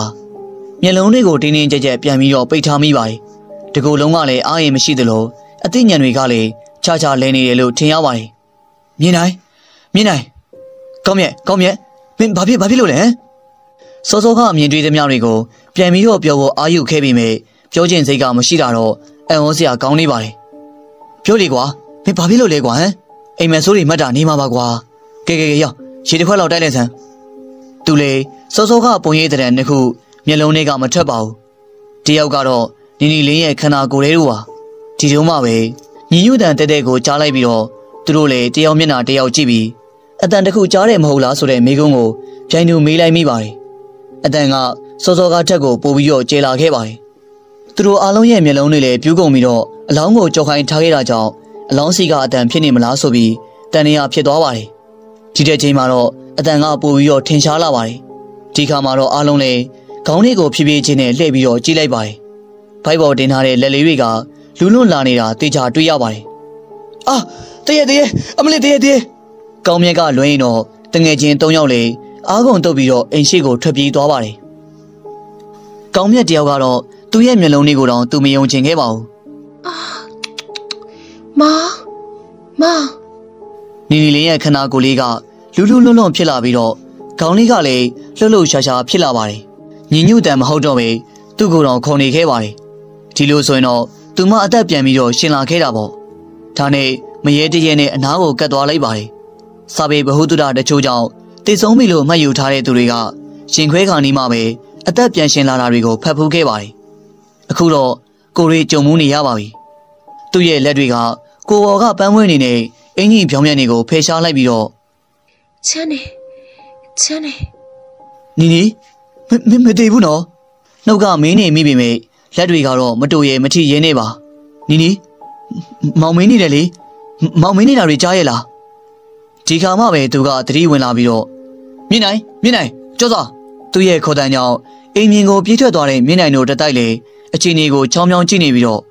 ဟေ့ဘလို့လဲကြောက်စောငါတို့ကိုခေါ်နေပြီကွာတည်ပြီးမှတော့ပြန်ပြီးတော့ရှင်နိုင်မှမလားကွာဟိုအစင်းသေးရဲ့ဝင်မှုတာလားအဲ့ဒါပဲဖြစ်နိုင်နေကွာဟေ့ငါကတော့မတော်ရဲဘူးကွာမင်းရလေဆရာဝန်စမ်းသပ်တာမှားတာလေနေမှာပေါ့ကွာမြင်နိုင်ကြောစွာတင်းတန်းမင်းတို့ကလေကွာရှောက်เจ้าတွေမဟုတ်တဲ့အတိုင်းပဲ လာအထဲဝင်မယ်သူတော်အဲ့ဒီနာမှာရှိနေတာပဲကွာမြင်းနိုင်ရဲ့လောဆော်မှုတွေကြောင့်သူတို့လည်းပြေကဲကမလုပ်ဖ ೇನೆ ခက်ယုံယုံနဲ့ပဲအိမ်ထဲကိုဝင်လာခဲ့ပါတယ်မြင်းနိုင်အခန်းထဲကဆောင်းတဲ့ထဲသွားယူလိုက်ကွာကောင်းမြတ်မင်းမိမတကယ်မသိတာနော်ဟာမသိလို့ညင်းနေတာဗောကွာဆရာဝန်ပြောတော့သိပြီဆိုကဲပါကွာ तू ချမ်းနေတယ်ကွာဟဲ့အောင်နေတို့ဆရာဝန်တယောက်လောက်ကိုခေါ်ပြီးပြရင်ကောင်းမလားအေးကွာဟိုဆရာမထက်ကိုခေါ်ရင်ကောင်းမယ်မလုံးနဲ့ကွာ तू ကသိပြီလို့ယတိပြက်ပြောသွားတာကွာဆေးရုံတင်မယ်လို့ပြောတော့လေငါ့ကိုစိတ်ဆိုးသေးတယ်အခုလိုဖြစ်တော့မျက်နှာပူစရာကောင်းနေကွာဟိုဒါဆိုလေတယောက်ယောက်ခေါ်လိုက်မယ်ကွာဒီမျိုးမှာသူတယောက်တည်းရှိတာမဟုတ်ပါဘူးကွာဟိုငါနဲ့တည်တဲ့ဒေါက်တာမျိုးအောင်လည်းရှိတယ်ကွာဟိုငါဆိုင်ငယ်နဲ့တွားလိုက်မယ်ကွာဟာညာအီမင်းဖြစ်နေပြီကွာကဲပါကွာအကျိုးတင်ကြောင်းတင်ရှင်းပြရမှာပေါ့အခုကအရေးပေါ်ကိစ္စပဲကွာသူလိုက်လာမှာပါတင်းနဲ့မင်းငါနဲ့လိုက်ခဲ့ကွာအဲ့ဒီနောက်မှာတော့တင်တန်းနဲ့ကြော်စော်လေးထွက်သွားခဲ့ပါတယ် သူနဲ့မြင့်နိုင်နှစ်ယောက်တည်းကြံခဲ့ပြီးတော့လူနာကတော့ဆက်လက်ညှဉ်းညူတာတွေမလုပ်တော့ဘဲငြိမ်သက်သွားပါတယ်အသက်ကတော့မှန်မှန်ရှူနေခဲ့ပါတယ်ငါမင်းတို့အိပ်ပျော်နေတော့ချိုးစမ်းတာတခုတွေ့လိုက်တယ်ကွာဟေးဘလို့လဲကွာဟိုတောင်ဝဲတစ်ချောင်းနဲ့ရောက်လာတဲ့အဖိုးအိုရဲ့ဝိညာဉ်နဲ့မိမတယောက်ရဲ့ဝိညာဉ်ကွာဘလို့ဘလို့ဟိုတောင်ဝဲခောက်တန်တရတော့ပြီးပြီးတော့ရောက်လာတာကွာအဖိုးကြီးရောမိမကြီးရောဟိုမျက်နှာတွေကတော့ကြောက်စရာကောင်းနေကွာမင်းကဘလို့ပြောရမှန်းတော့မသိဘူး ပြီးတော့အဝတ်စားတွေကလည်းစုတ်တီးစုတ်ဖက်နေပြီးတော့အဲ့ဒီမိမကငါ့ကိုစိမ့်စိမ့်ကြီးကြည့်နေတာကွာကြောချမ်းစရာတော့ကောင်းနေကွာပြီးတော့နီနီလေးရဲ့ကိုယ်တဲ့ကိုဝင်တော့တာကွာဟာယောဟိုမင်းမိမအသက်မဟုတ်တော့ပဲမင်းပြောတဲ့မိမများဖြစ်နေမလားမသိဘူးနော်အေးကွာအုံနောက်ချောက်လိုက်တာငါလည်းမင်းကိုဆက်ပြီးတော့မရှင်းပြတတ်ဘူးကွာစောင့်ပြီးတော့ကြည်ရတော့မှာပဲဒါပေမဲ့ဒီเจ้าလေးကိုတော့ဟိုနှစ်ယောက်ကိုတားပြီးမပြောနဲ့ကွာတော့ကြဇလန်းနေရှုပ်ကုန်လိမ့်မယ်အေးပါကွာအေးပါ အဲ့ဒီလိုနဲ့နာယီဝဲလောက်ကြာတဲ့အခါမှာတော့ကျော်စော်နဲ့တူဆရာဝန်ရောက်လာခဲ့ပါတယ်ရောက်ရောက်ချင်းမှာတော့ဆရာဝန်လည်းစကားတွေထူထူထူထူမပြောဘဲနဲ့လူနာကိုပဲဆက်နပ်မှုလုပ်လိုက်ပါတယ်ကျင်းနေအောင်လုပ်ပြီးတဲ့အခါမှာတော့ဒါမျိုးတွေကစီလောကမှာရှိပါတယ်ဗျာတော်ယုံဆန်းတဲ့ယုံနဲ့မရနိုင်လို့တေးပြီလို့ယူဆတဲ့တာရခတွေရှိတယ်ဗျအခုကျွန်တော်စေးထိုးပေးခဲ့မယ်ဟိုမနေ့ပြန်ဆိုရင်တော့ပြန်ပြီးတော့ကောင်းလာမှာပါကျွန်တော်နောက်တစ်ခေါက်ထပ်ပြီးတော့လာခဲ့ပါမယ်သူအရင်တုန်းကအိတ်ခဲ့တဲ့ဂရင်းမော်ပဲပြန်ပြီးတော့တင်မိလိုက်ပါဆရာဝန်က သူ့ရဲ့ရှေ့မှာပဲခိုင်းနေတာကြောင့်ဇဝေဇဝါနဲ့စိတ်တွေကိုမိထားလိုက်ပြီးနီနီလင်းကိုပြေးပြီးတော့အခန်းထဲကဂရင်းမော်ကိုတင်မိလိုက်ပါတယ်အသက်မသေးပဲပြန်ရှင်လာတဲ့အထိပြေးပြေးဝဝမပြောရှင်နိုင်တဲ့သူ့ရဲ့အဖြစ်ကတော့တော်တော်လေးကိုဆိုးရွားပါတယ်ဆရာဝန်ပြန်သွားပြီးတဲ့နောက်မှာတော့ခေါင်းချင်းဆိုင်ရပြန်ပါတယ်။နာရီဖိတ်စာရိုက်ကူးတာတွေဝင်းငှထားတဲ့ကိစ္စတွေအခေါင်းလောက်ထားတဲ့ကိစ္စတွေပြီးတော့အိမ်ရှိကိုရောက်နေပြီဖြစ်တဲ့အခေါင်းတင်လဲရဲ့ကိစ္စတွေတက်ပြောက်ဆုံးပိတ်ထားတဲ့ဘုံကြီးရဲ့ကိစ္စတွေ မနှက်ပြန်ရောက်လာမယ်နီနီလင်းရဲ့ဆွေမျိုးသားချင်းရဲ့ကိစ္စတွေဟိုကိစ္စဒီကိစ္စနဲ့တာဝန်တီတီခွဲဝေယူလိုက်ပါတယ်အဝေးပြေကားရစီထိုးရက်လာတဲ့အခါမှာတော့ခေါင်းရွက်ဈေးသည်တွေကလည်းဝိုင်းဝိုင်းလည်းရောက်ရှိလာပြီးတော့ဒေသထွက်ရောင်းကုန်စားကုန်တွေကိုအတန်တစားစားနဲ့အော်ဟစ်ပြီးတော့သူ့တဲ့ငါပဲအလူရဲ့ရောင်းကြပါတယ်ကားဘောက်ကခီးတဲ့၃ယောက်ဆင်းလာပြီးတယောက်ကတော့အသက်40ကျော်မျိုးသမီးတယောက်ဖြစ်ပြီးတော့အထင်ရှားဆုံးလို့ပြောရမှာကတော့ သူ့ရဲ့အတွင်တဲ့ကထူးခြားနေပြီးလိုင်းနှုတ်ပုံစံကောက်ထားတဲ့သပင်ကိုတော့ခက်မွတ်မွတ်လေးထုံထားပါတယ်မျက်နှာအကြကတော့မင်္ဂလိအများစုလိုတွေ့တွေ့မဟုတ်ပဲလေးတောင်နေနေဆန်ပြီးတော့တိကျမှုပြတ်သားမှုတွေကိုပြဆိုတဲ့သင်္ကေတပါမျက်လုံးမျက်ခုံးနှာခေါင်းနဲ့ပါးစပ်တွေကပြည့်ပြည့်ပြည့်ပြည့်ရှိပါတယ်ဝိစင်ထားတဲ့ပုံကခစ်ဆန်ပြီးတော့ပစ္စည်းပစ္စည်းတွေများများဆဆမပါပဲပကုံးလွယ်တဲ့အိတ်လေးတစ်လုံးနဲ့ခီးဆောင်အိတ်တစ်လုံးပဲပါခဲ့ပါတယ်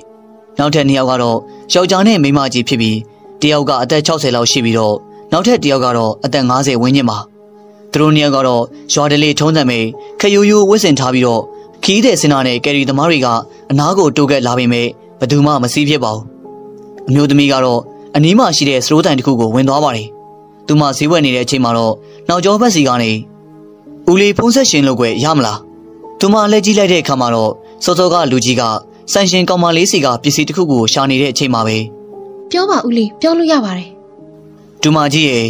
ဦးလေးကိုလေဟော်ရီဖုန်းနံပါတ်လေးတစ်ချက်လောက်နှိပ်ပေးပါလားကွအဲ့ဒီနောက်မှာတော့နံပါတ်တူရေးထားတဲ့စက်ကူပိုင်းလေးကိုသူမစီကိုကမ်းမိတာကြောင့်သူမတစ်ချက်ကြည့်လိုက်ပါတယ်ဒီမျိုးကဖုန်းနံပါတ်ဖြစ်တာကြောင့်တွက်လက်ဆောင်နဲ့ပဲခလုတ်တွေနှိပ်ပြီးတော့ခေါ်လိုက်ပါတယ်အေးအခုပြောနေတာကောင်းမြတ်လားကွာအေးဦးကနီနီလေးရဲ့အဖေပါကွယ်ဦးတို့ဒီမျိုးကားဂိတ်ကိုရောက်နေပြီကွယ်အဲ့ဒါဦးတို့မလာတတ်လို့လာကြပါအောင်ကွယ် ဖုန်းသားထောင်နေတဲ့သူကြီးရဲ့မျက်နှာကချက်ချင်းဆိုသလိုပဲအလွန်အင်မတန်အော်သွားတဲ့အသွင်ဆောင်ပြီးတော့ဘလို့ကွယ်တမီးကမတည်ဘူးဟုတ်လားပြန်ရှင်လာတယ်ဖះဖះဒါမျိုးတွေကရှိလို့လားကွယ်ဆရာဝန်ကိုယ်တိုင်ကဆုံးဖြတ်လို့အလောင်းတော်ပြင်ပြီးနေပြီပဲဥစ္စာဒီစကားကြောင့်အနီးမှရှိတဲ့အမျိုးသမီးကစိတ်ဝင်စားသွားပြီးဦးလေးကြီးရဲ့မျက်နှာမှာတော့အပျော်ရည်တွေကကူးဆက်သွားပြီးတော့စကားကိုတူတူတုတ်တုတ်ပြောပြီးဖုံးချလိုက်ပါတယ်ဖုံးကဘလောက်လဲတူမကြီးရဲ့ ဦးလေးကမြို့စုံမနေတဲ့နီနီလင်းတို့ရဲ့အဖေလားဟုတ်ပါတယ်ကွယ်ကိုကောင်းမြတ်ကသမီးရဲ့မိတ်ဆွေပါဆိုင်မှာဝယ်နေကြဖောက်တယ်တယောက်ပဲသူ့အမျိုးသမီးဆုံးနေဆိုပြီးဖိတ်စာတွေတော့လိုက်ဝင်ပြီးပြီဒီနေ့ဆိုတကြုံမဲ့နေ့ပေါ့ခုတော့ဝမ်းသာစရာပေါ့ဦးလေးရဲ့အေးကွယ်ဦးလေးလေးဘလို့ပြောရမှန်းတော့မသိတော့ပါဘူးကွယ်ဆန်ရှင်ကောင်မလေးကပတ်စံအန်းနေတဲ့အချိန်မှာပဲမိတ်ကက်လိန်ချထားတဲ့အမျိုးသမီးကသူလိုအပ်တဲ့ပစ္စည်းတွေရတာကြောင့်လှည့်ထွက်လာခဲ့ပါတယ်လမ်းတစ်ဖက်မှာတော့ ဦးလေးကြီးနဲ့အတူပါလာတဲ့အတော်ကြီးကမတ်တက်ရဲ့စောင့်နေပါတယ်စောစောကကြားခဲ့ရတဲ့စကားတွေကိုအမှုမဲ့အမှတ်မဲ့နဲ့နားထောင်ခဲ့ပေမဲ့ခေါင်းထဲမှာတော့တေချာမှတ်မိနေမှုနှစ်ခုက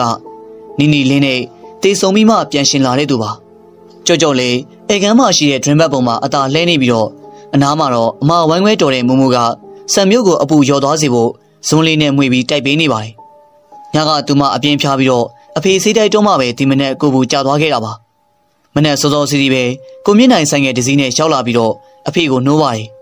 နီနီလင်းအသက်ပြန်ရှင်လာတဲ့ဆိုတဲ့သတင်းစကားကြောင့်အဖေရဲ့လက်ထဲကတောက်ရည်ခွက်လွတ်ကျသွားပြီးနားမရှင်းတာကြောင့်တီတီချာချာမေးယူရပါတယ်။အဲဒီနောက်မှာတော့မူမှုကိုသွားခေါ်ပြီးကြောကြောနားမှာနေစီပြီးတော့ကိုမြင့်နိုင်နဲ့လိုက်သွားတာပါ။ဒီခါမှာတော့ကြောကြောအတွက်စဉ်းစားစရာဖြစ်သွားပါတယ်။ညကအဲ့ဒီဖြစ်ပျက်ကဘာလဲ။ဘာကြောင့်ဒီလိုဖြစ်တာလဲ။အစကနီနီလင်းရဲ့ဝင်းကျင်လို့ထင်ခဲ့ပြီးတော့အခုနီနီလင်းကတည်ဆုံးတာမဟုတ်ပါဘူး။ ကဲမိကြောင့်တခြားဘာမှရှောက်တွေးမနေနဲ့စံကြုံလေးတောက်လိုက်အောင်။ကျမမုန်းနေသူဟာလောကကြီးတွေကထွက်မသွားသေးဘူး။ဘာလို့အဲ့လောက်တောင်အာကာဒတွေထားနေရတာလဲမိကျော်ရဲ့။နေဟာလေးအကုသူတွေကိုဝယ်ယူနေသလိုပဲ။မမုံမသိပါဘူး။ဘာမသိတာလဲမိကျော်နော်။နေစိုးကျင်တိုင်းစိုးမနေနဲ့။ကိုမနစ်သက်ဘူးဆိုလဲမျက်နှာချင်းမဆိုင်ုံရှိတာပဲ။ तू ဘာကြောင့်ပြန်ရှင်လာတာလဲ။တင်းနေတည်ရမစိသေးလို့ဗောဟဲ့။အန်တီမူအန်တီမူ အိမ်မှာအိတ်တွေရောက်နေတယ်။ဟေးဘေးကအိတ်တွေများပါလိမ့်။အန်တီမူတို့အရွယ်လောက်ပဲ။မျက်နှာမှာမိတ်ကပ်တွေလိမ့်ထားတာနေရဲလို့အန်တီမူရဲ့အသီးရဲ့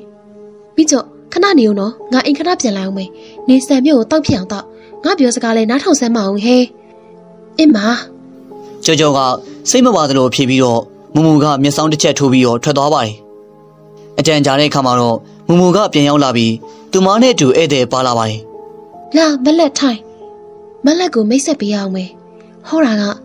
ကျမရဲ့ညီမဝမ်ခွဲကြော့ကြော့တဲ့သူ့အဖေနဲ့ကျမအမေနဲ့ကမောင်နှမ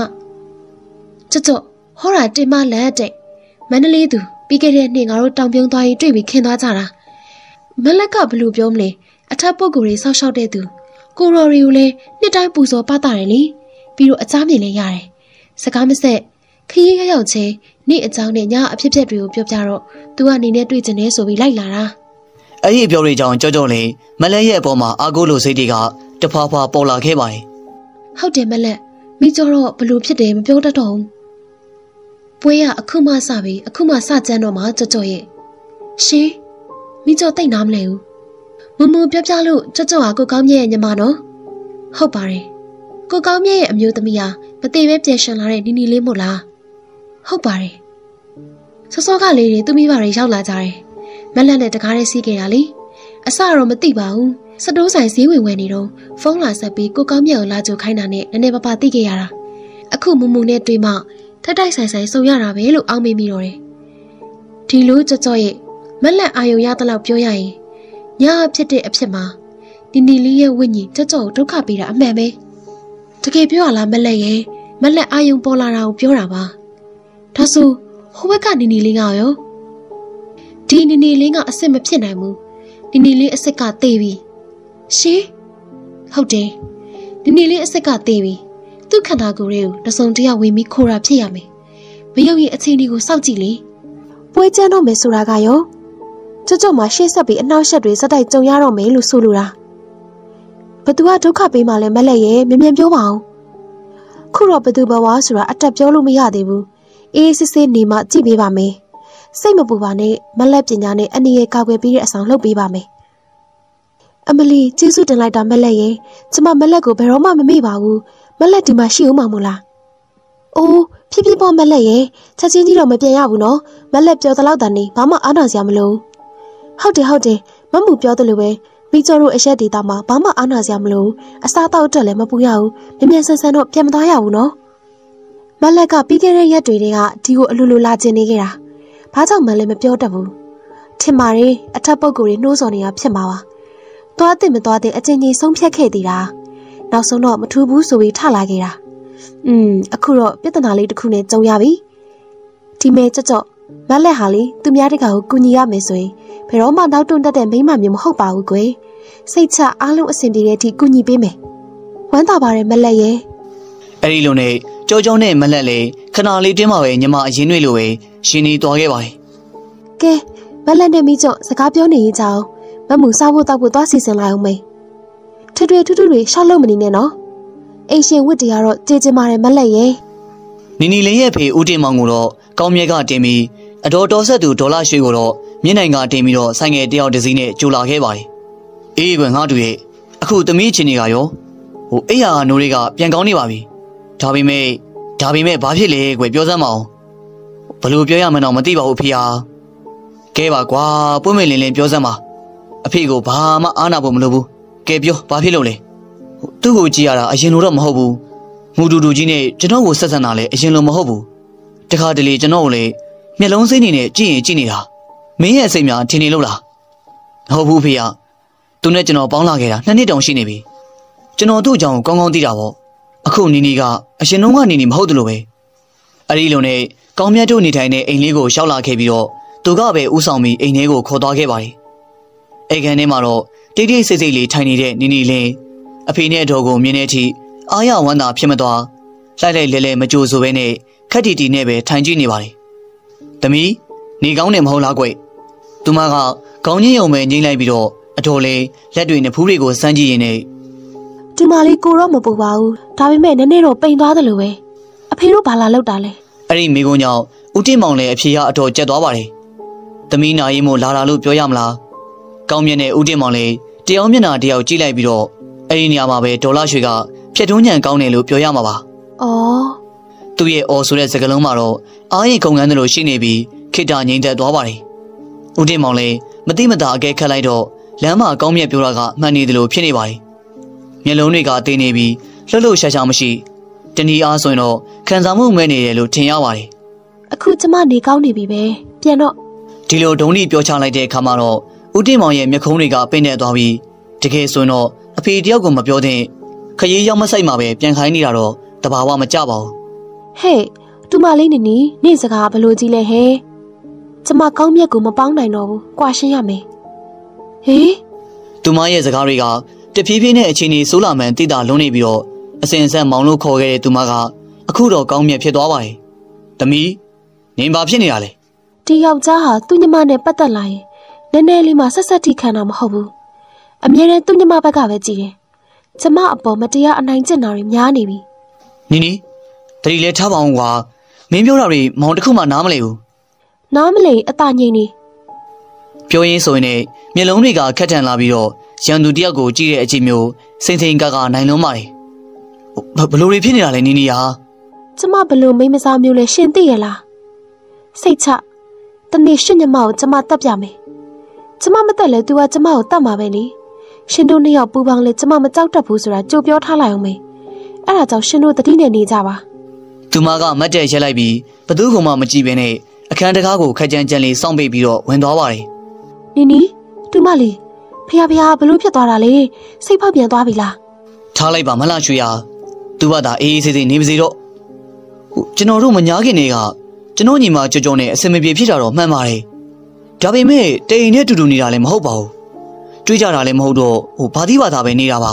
။ဒီလိုပြင်းပြင်းထန်ထန်ပြောရလောက်လည်းဟိုမရှိခဲ့ပါဘူး။အခုတော့ကျွန်တော်ကိုယ်တိုင်လည်းဘာမှနားမလဲတော့ဘူးဗျာ။အဆိုးဆုံးကတော့သူကကွာရှင်းမယ်ဆိုတဲ့ကိစ္စပဲဗျ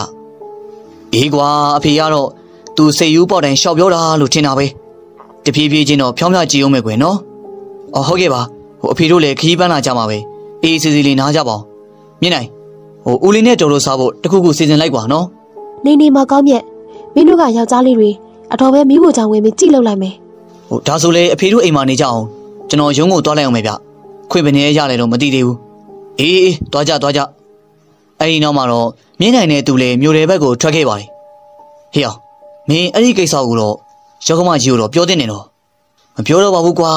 ပြောလိုက်ရင်ပို့ပြီးတော့စိတ်မကောင်းဖြစ်သွားလိမ့်မယ်ပြီးတော့ရုပ်တည်လည်းမရှိဘူးလေကွာဘာပဲဖြစ်ဖြစ်လေကွာသူအသက်ရှိသေးတယ်ဆိုတဲ့အချက်တစ်ချက်နဲ့တည်းငါတို့ဖြေးသားပါတယ်ကွာစောင့်တော့ကြည့်အောင်ပါပေါ့တဖြည်းဖြည်းတော့ပြောင်းလဲသွားမယ်လို့ငါထင်ပါတယ်အေးလေဒါတော့မင်းသဘောပါပဲနောက်နေ့မှာတော့နီနီလေးရဲ့အပြုမှုတွေကတိတိတတ်တာထူးခြားမှုမရှိခဲ့ပါဘူးထမင်းစားချိန်မှာလည်းတယောက်တည်းပြင်ကိုထွက်စားပြီးတော့ အိတ်ခမ်းထဲကနေမထွက်ပါဘူးဘသူနဲ့မှလည်းစကားမပြောဒေါ်လာရွှေကိုတော့အခန်းထဲကိုခေါ်ပြီးတော့အိတ်ခိုင်းပါတယ်ကောင်းမြတ်ကိုတော့အခန်းထဲကိုအဝင်မခံခဲ့ပါဘူး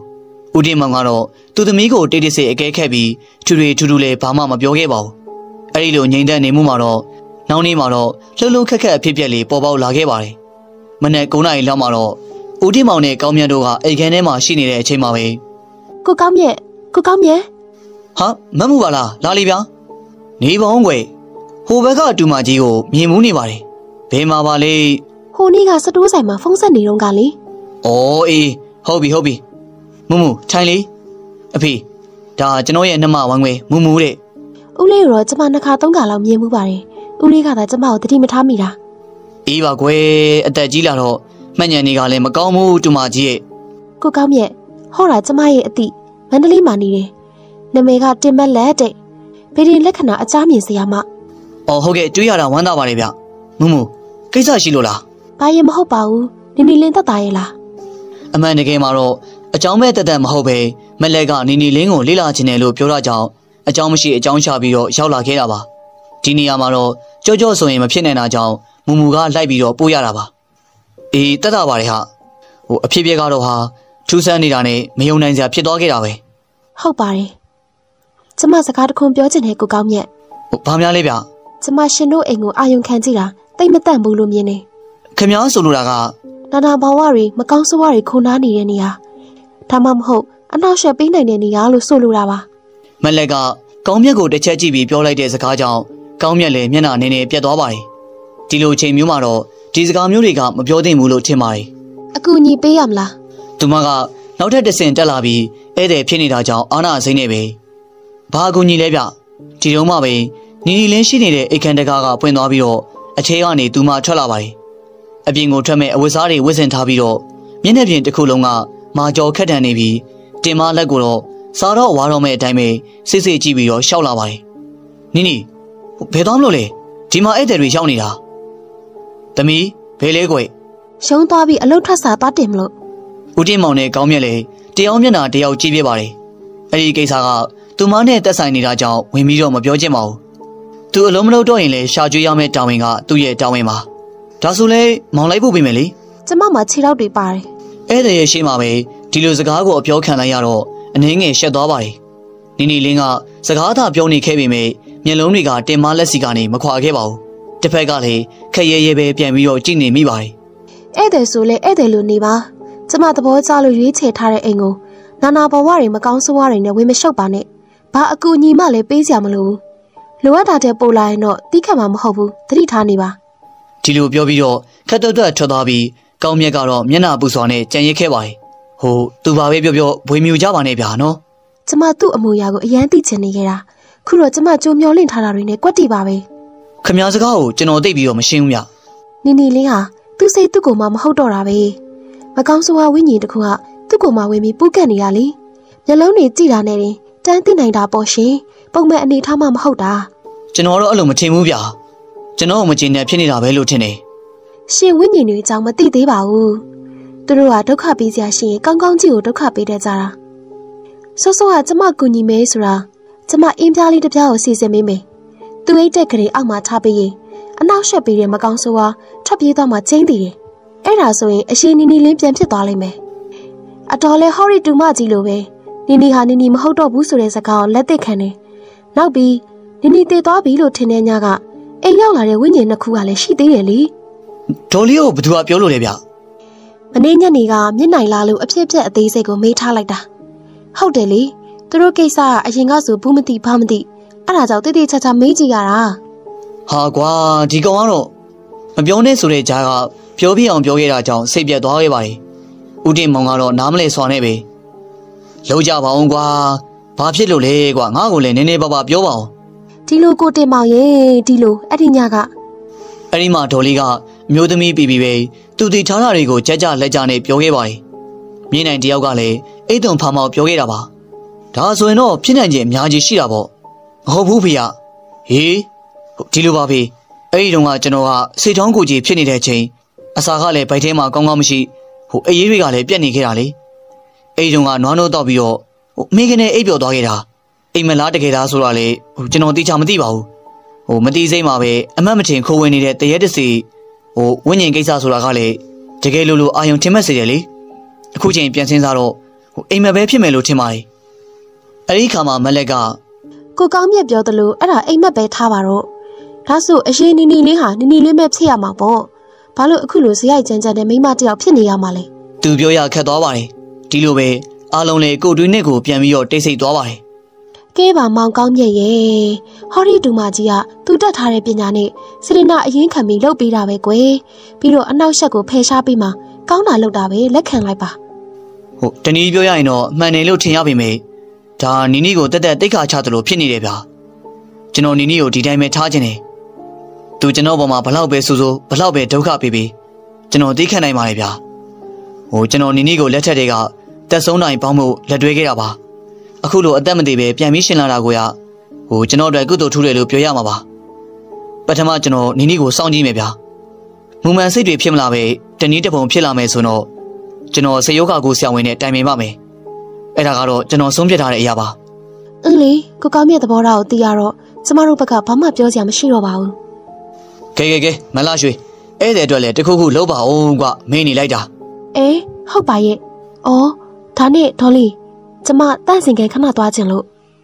အော်အေးအေးလာကွယ်လာပါ။တင်မလက်ကဒေါ်လာရွှေရဲ့နောက်ကနေလိုက်သွားပါတယ်။ပထမအခန်းလေးကိုဖျက်ပြီးတော့နောက်မှာတော့ထမင်းစားကန်အဲ့ဒီနောက်တော့မိဖို့ကြောင့်နဲ့အဲ့ဒီနောက်မှာတော့အင်ကြီးရဲ့နောက်ဖေးအပေါက်ကိုရောက်သွားပါတယ်ဟောဒီမှာနောက်ဖေးစည်းဖက်နှက်ရှိတယ်ဒူမကြီးဟုတ်ကဲ့ကျေးဇူးပဲ။ခြံထဲမှာတော့တီးပင်စားပင်တွေကတော်တော်ဆုံးပြီးအမှန်တကယ်မှာတော့မလက်ကတန့်စင်ကန်ကိုသွားကျင်တာမဟုတ် သူ့ရဲ့ကြံတဲ့သူထွက်လာခဲ့တာပါ။တန့်စင်ကန်ကိုဝင်းကြီးအောင်ဆောင်လိုက်ပြီးတော့ပြန်ထွက်လာတဲ့အခါမှာတော့မိဖို့ဆောင်မှာဒေါ်လာရွှေကိုမမြင်ရပါဘူး။သူမလည်းအိမ်မေးကိုပတ်လျှောက်လာလိုက်ပြီးစောစောကနေနေလင်းထွက်လာတဲ့အခန်းကိုတော့ခေါင်းရင်းစီကိုရှောက်သွားပါတယ်။တေချာတီးဖို့ဆိုပြီးပပိတ်မထားတဲ့ပြတင်းပေါက်ကနေတဆင်အတွင်းထဲကိုကြည့်လိုက်ပါတယ်အဲဒီနောက်မှာတော့သူမရဲ့လက်ပွေအိတ်ထဲကရုပ်ထုသေးသေးလေးတစ်ခုကိုထုတ်လိုက်ပြီးရုပ်ထုကတော့ယောက်ျားမိန်းမမသေးခွဲပဲစပင်ကားတော့ရှေ့ပြီးတော့ဒူးတစ်ဖက်ကိုထောင်ပြီးလက်တင်ထားပါတယ် အဲ့ဒီရုပ်ထုကိုကြောကြောကိုပြတော့ကဒါဘာရုပ်ထုလဲမလက်ဘာရုပ်ထုလဲလို့မမေးနဲ့ဘာဆွမ်းတလဲလို့သာမေးမလက်လောက်ထားတာလားဟုတ်တယ်ဒီရုပ်ထုလေးကိုနေနေလေးနေတဲ့နေရာနဲ့အနီးဆုံးမှာမြုပ်ထားဖို့လိုမယ်ဒါဆိုရင်သူဟာကြော့ကြော့ကိုဘယ်တော့မှရှင်ရဲမှာမဟုတ်တော့ဘူးသူနဲ့ကြော့ကြော့မျက်နှာချင်းဆိုင်တွေ့တာနဲ့အညှို့ခံရတဲ့ဖားတကောင်လိုဖြစ်သွားစေရမယ်မျက်လွှာချမယ်ပြောသမျှအောင်နာခဲ့မယ်အထုံးမတက်ရဲဘူးအိုကွယ်ကြော့ကြော့စေခိုင်းသမျှအောင် သူတသွေးမတိန်လိုက်လုပ်လိုက်မယ်။ဒါဆိုသူမိကျော်ကိုကြောက်သွားမယ်ပေါ့။ဒါပေါ့ဒါပေါ့ဘလို့သွားမြောက်မှာလဲ။ဒါကတော့ကြံရမှာပေါ့ကြော်ကြော်ရဲ့ကြော်ကြော်အဲ့ဒီအိမ်ကိုလိုက်လို့ဖြစ်မှာမဟုတ်ဘူး။မူမူနဲ့ဆိုရင်ကောမမူကအကြောင်းမရှိရင်မသွားတတ်ဘူး။ဒါပေမဲ့သူနဲ့တော့ဘာမှပြဿနာမရှိပါဘူး။မမူခေါ်သွားရင်ဖြစ်နိုင်ပါတယ်။ဒီမှာလက်လေကြာကြာစဉ်းစားမနေဘဲနဲ့အနည်းကဒုံချောင်းတစ်ချောင်းကိုရှာပြီးမြေကြီးကိုတူးလိုက်ပါတယ် ခက်တော့တော့တူးပြီးတော့အယုတ်လေးကိုမြုပ်ပြီးမြေကြီးနဲ့ပြန်ပြီးတော့ဖုံးလိုက်ပါတယ်ပြီးတော့လက်နှစ်ဖက်ကိုဖုံးခါပြီးတော့အိမ်နောက်ဖေးစင်အိုတွေကရေနဲ့လက်ကိုပြောင်းအောင်ဆေးပြီးအင်ဒရီမပြတ်ပဲအခန်းထဲကိုဝင်လာခဲ့ပါတယ်ကဲဒူမာကြီးရေကော်ဖီလေးမုံလေးစားလိုက်အောင်ကွဟိုစောစောကနီနီပြောတာတွေကိုစိတ်မဆိုးပါနဲ့ဗျာကျွန်တော်ဂျားလေးကနေတောင်းပန်ပါတယ်ကိစ္စမရှိပါဘူးရှင်ကျမတို့လည်းနိနိအပေါ်နားလည်ပြီးသားပါသူမကကော်ဖီခွက်ကိုလှမ်းယူပြီးဘစ်စကစ်လေးတစ်ချက်ကိုကော်ဖီထဲနှိပ်ပြီးတော့စားမယ်အလုံးမှာတော့ ဟိုကျွန်တော်ဒီလိုစဉ်းစားတယ်ဗျာအန်ဒီလေးကင်းဘေးလေးကင်းတော့အောင်ဖုန်ကြီး၅ပါးလောက်ပြင်ပြီးတော့စုံလေးကက်ပြီးပြေးလေးရွတ်ဖို့ပါဟိုမကောင်းတာတွေလည်းကင်းစင်သွားအောင်လေတင်မာလက်ကင်ထားတဲ့ဘစ်စကစ်ဘိုင်းလေးကနူးလာပြီးတော့ကော်ဖီခွက်ထဲကိုပြုတ်ကျသွားပါတယ်အဲ့ဒီနေ့ကဖုန်ကြီးစုံကက်မှာဖြစ်တာကြောင့်သူတို့တွေလည်းခက်စောစောထပြီးတော့သူတို့ဆိုတာကတော့ဦးတင်မောင်ကောင်းမြတ်နဲ့ဒေါ်လာရွှေတို့ပါနီနီလင်းကိုအတိပေးထားပေမဲ့အခန်းထဲကထွက်မလာပဲသူတို့သုံးယောက်ကတော့တိုင်ပင်မထားပါရဲ့နဲ့ အလိုလိုခွင့်လွှတ်ထားလိုက်ပါတယ်။နေစုံကပ်မှာဖြစ်တာကြောင့်ကောင်းမြတ်ကစောစောထပြီးဒေါ်လာရွှေစီစဉ်ပေးတဲ့ဟင်းရံနဲ့လိုအပ်တာတွေကိုဝယ်ခဲ့ပါတယ်။အေးကွာအဖေလည်းနောက်ပိုင်းမှာအရေးကြီးတဲ့အလုပ်တွေကိုဒီတိုင်းထားခဲ့ရတာကွာ။မနေ့ပြန်ရွာကိုခဏပြန်အောင်မယ်ကွာ။ဒီမှာမလရွှေကိုထားခဲ့မယ်။ဖြစ်တယ်မို့လားကွ။အော်ဖြစ်ပါတယ်ဖေ။ကျွန်တော်ကတော့အဖေကိုအားနာနေတာ။ဟိုတိတ်ပြီးတော့လေစိုးရိမ်စရာမရှိတော့ဘူးလေ။မနေ့9နာရီတည်းကထမင်းဟင်းတွေကြက်ပြီးတော့စန္နာရီထုံးမှာတော့ဘုန်းကြီးကိုသွားကြဖို့ပြင်နေတဲ့အချိန်မှာပဲ နီနီလင်းကအခန်းထဲကထွက်လာပါတယ်။သမီးကဘယ်ကိုသွားမလို့လဲကွယ်အပြင်သွားမလို့။ဩကိုယ့်အိမ်မှာဆုံးခဲ့မယ်မယ်တည့်ရက်နဲ့ကွယ်။တားနဲ့အပြင်ကိုထွက်အောင်မလို့လားကိစ္စလေးရှိလို့။ဘာကိစ္စပဲရှိရှိမထွက်ရဘူးကွာ။ဘယ်နဲ့မပြောချင်လို့ကြည်နေတာအကောင်းမှန်နေလားဟမ်။လင်းယောက်ျားကိုရိုသေးရကောင်းမှန်မသိအဖေကိုကြတော့လည်းမထီမဲ့မြင်ဒီတစ်ခေါက်တော့အဖေတော်တော်စိတ်ဆိုးသွားပြီကွာ။အဖေတို့လောက်တာတွေသမီးမစိတ်မဝင်စားတာဘာကွာနင်ဗုဒ္ဓဘာသာဝင်မဟုတ်ဘူးလားဟမ် ဗုဒ္ဓဘာသာဝင်မှန်ရင်ကုသိုလ်လို့လှုပ်တာကိုဝမ်းမြောက်ဝမ်းသာရှိရမှာပဲအခုနင်ကတရေဖြစ်နေလို့လားဟမ်ကဲဒါလေဘုန်းကြီးတွားကြတော့ကွာဟုတ်ကဲ့ဖေဘုန်းကြီးเจ้าနဲ့တိတ်ပြီးမဝေးတာကြောင့်နာယီဝက်အတွင်းမှာပဲဘုန်းကြီးတွေကကြွလာပါတယ်ရဲရောက်ချင်းဆုံးခဲ့ပြီးတော့အချိုပွဲတွေကိုဖုံးပေးနေပါတယ်တီလာယူကနေတဲ့အခါမှာတော့ကဲမလားရွှေနီနီလင်းကိုတွားခေါ်စမ်းတီလာယူမယ်လို့ အဲ့ဒါနဲ့အခန်းထဲကိုသွားခေါ်တော့ ဗာများထော်လော်ကန်လန့်လုံးမလဲဆိုပြီးကောင်းမြတ်ကစိတ်ထင်နေခဲ့ပေမဲ့အသာတကြီးပဲလိုက်ခဲ့ပါတယ်။အဲ့ဒီနောက်မှာတော့တီလာယူပြီးဖုံးတော်ကြီးတွေကပရိတ်ယူပေးပါတယ်။ဒီနောက်မှာတော့ဝါကြီးပုံရတဲ့ဆရာတော်ကဒီအိမ်မှာဟိုစာတန်းလေးကတ်ထားတာဘသူလက်ရလဲကွ။နေအိမ်ရဲ့အနောက်ဘက်တစ်သားနေရံမှာကတ်ထားတဲ့စာတန်းလေးကိုဘုန်းကြီးကတွေ့သွားပုံရပါတယ်။စာတန်းလေးကတော့လူဖြစ်ရင်လူလိုတည်တတ်ဖို့လိုတယ်ဆိုတဲ့စာတန်းလေးပါ။တပည့်တော်ရုံးကတွေ့တာနဲ့ယူပြီးတော့ကတ်ထားတာပါဗျာအေးခွေ လူဖြစ်ပြီးတော့လူလိုတိတက်ဖို့ကောင်းတယ်ဆိုတဲ့စကားကိုဘုန်းကြီးတို့တွေမကြာခဏကြားနေရတယ်တကယ်တော့ဒီစကားမျိုးကိုစိတ်ခက်မသိတဲ့အခါတွေမှာသုံးဆွဲတတ်တာကွဒီစကားရဲ့အဓိပ္ပာယ်ကိုစဉ်းစားကြည့်ပြီးတော့တန်မိုးစစ်မှန်ကိုရှာဖွေတဲ့နေဒီစကားကိုတစ်ခုချင်းစစ်ပိုင်းပြီးတော့အ내အဓိပ္ပာယ်ကောက်ယူမယ်ဆိုရင်ရည်ရွယ်ချက်ပြောင်းသွားနိုင်တယ်ကွဆိုလိုတာကတော့ကွစကလုံးတိုင်းရဲ့တဘာဝအ내အဓိပ္ပာယ်ကိုလေးလေးနက်နက်လေးလာကြည့်တင်ပြီးတော့ဘဝလမ်းညွန်ဖြစ်ဥတည်လိုက်မယ်ဆိုရင်တော့ ဘဝလွတ်မြောက်နိုင်တဲ့အထိအောင်အကျိုးဖြစ်နိုင်တာပေါ့ကွယ်ကဲဖုံဖုံတို့စောနာကစကားကိုနားလေကြည့်အောင်လူဖြစ်ပြီးတော့မှလူဆိုတာဘာလဲလူရဲ့အဓိပ္ပာယ်ကိုလေးလာကြည့်လိုက်ရင်အကြောင်းနဲ့အကျိုးကိုသိတဲ့သူစိတ်များစွာဖြစ်စေသူအဲအများကြီးရှိတာပေါ့ဘာပဲပြောပြောလူဖြစ်ကိုရှာခဲ့တာတော့အမှန်ပဲလေကဲအလွန်ဝေးလာတဲ့မြမပြည်ကအတ္တစင်အောက်ကိုချလူပြည်ကမြေပြင်မှာအတက်ချောင်းထောင်ပြီးဆိုင်အေးအဲ့ဒီအနက်ချောင်းထိပ်ပြားခြင်းထိနိုင်တဲ့အခြေအနေက လူဖြစ်ဖို့အခြေအနေထက်ပိုပြီးတော့လွယ်ကူတယ်လို့စာပေကျမ်းကန်မှာဆိုရတယ်ကွနောက်တနည်းပြောကြတာကတော့အင်မတန်ကျေပြောလာတဲ့သမုဒ္ဒရာကြီးထဲမှာမျက်စိကန်းနေတဲ့လေကြီးကသွားခြင်းရသွားနေတယ်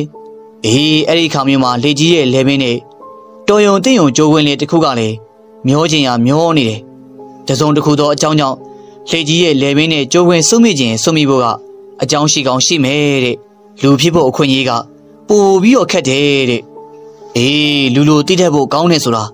လူလိုတိဆိုတာအစင်မြင့်တဲ့အတိမျိုးကိုတိမှလူရဲ့အထိပ္ပယ်ဟာပြေးသွားတယ်ကွအစင်မြင့်အတိမျိုးမသိရင်တော့ဘဝတစ်ခုလုံးအဆုံးသတ်သွားကြမယ်ကွရေးရခဲ့လာပါတယ်ဆိုတဲ့လူဘဝကြီးကလည်း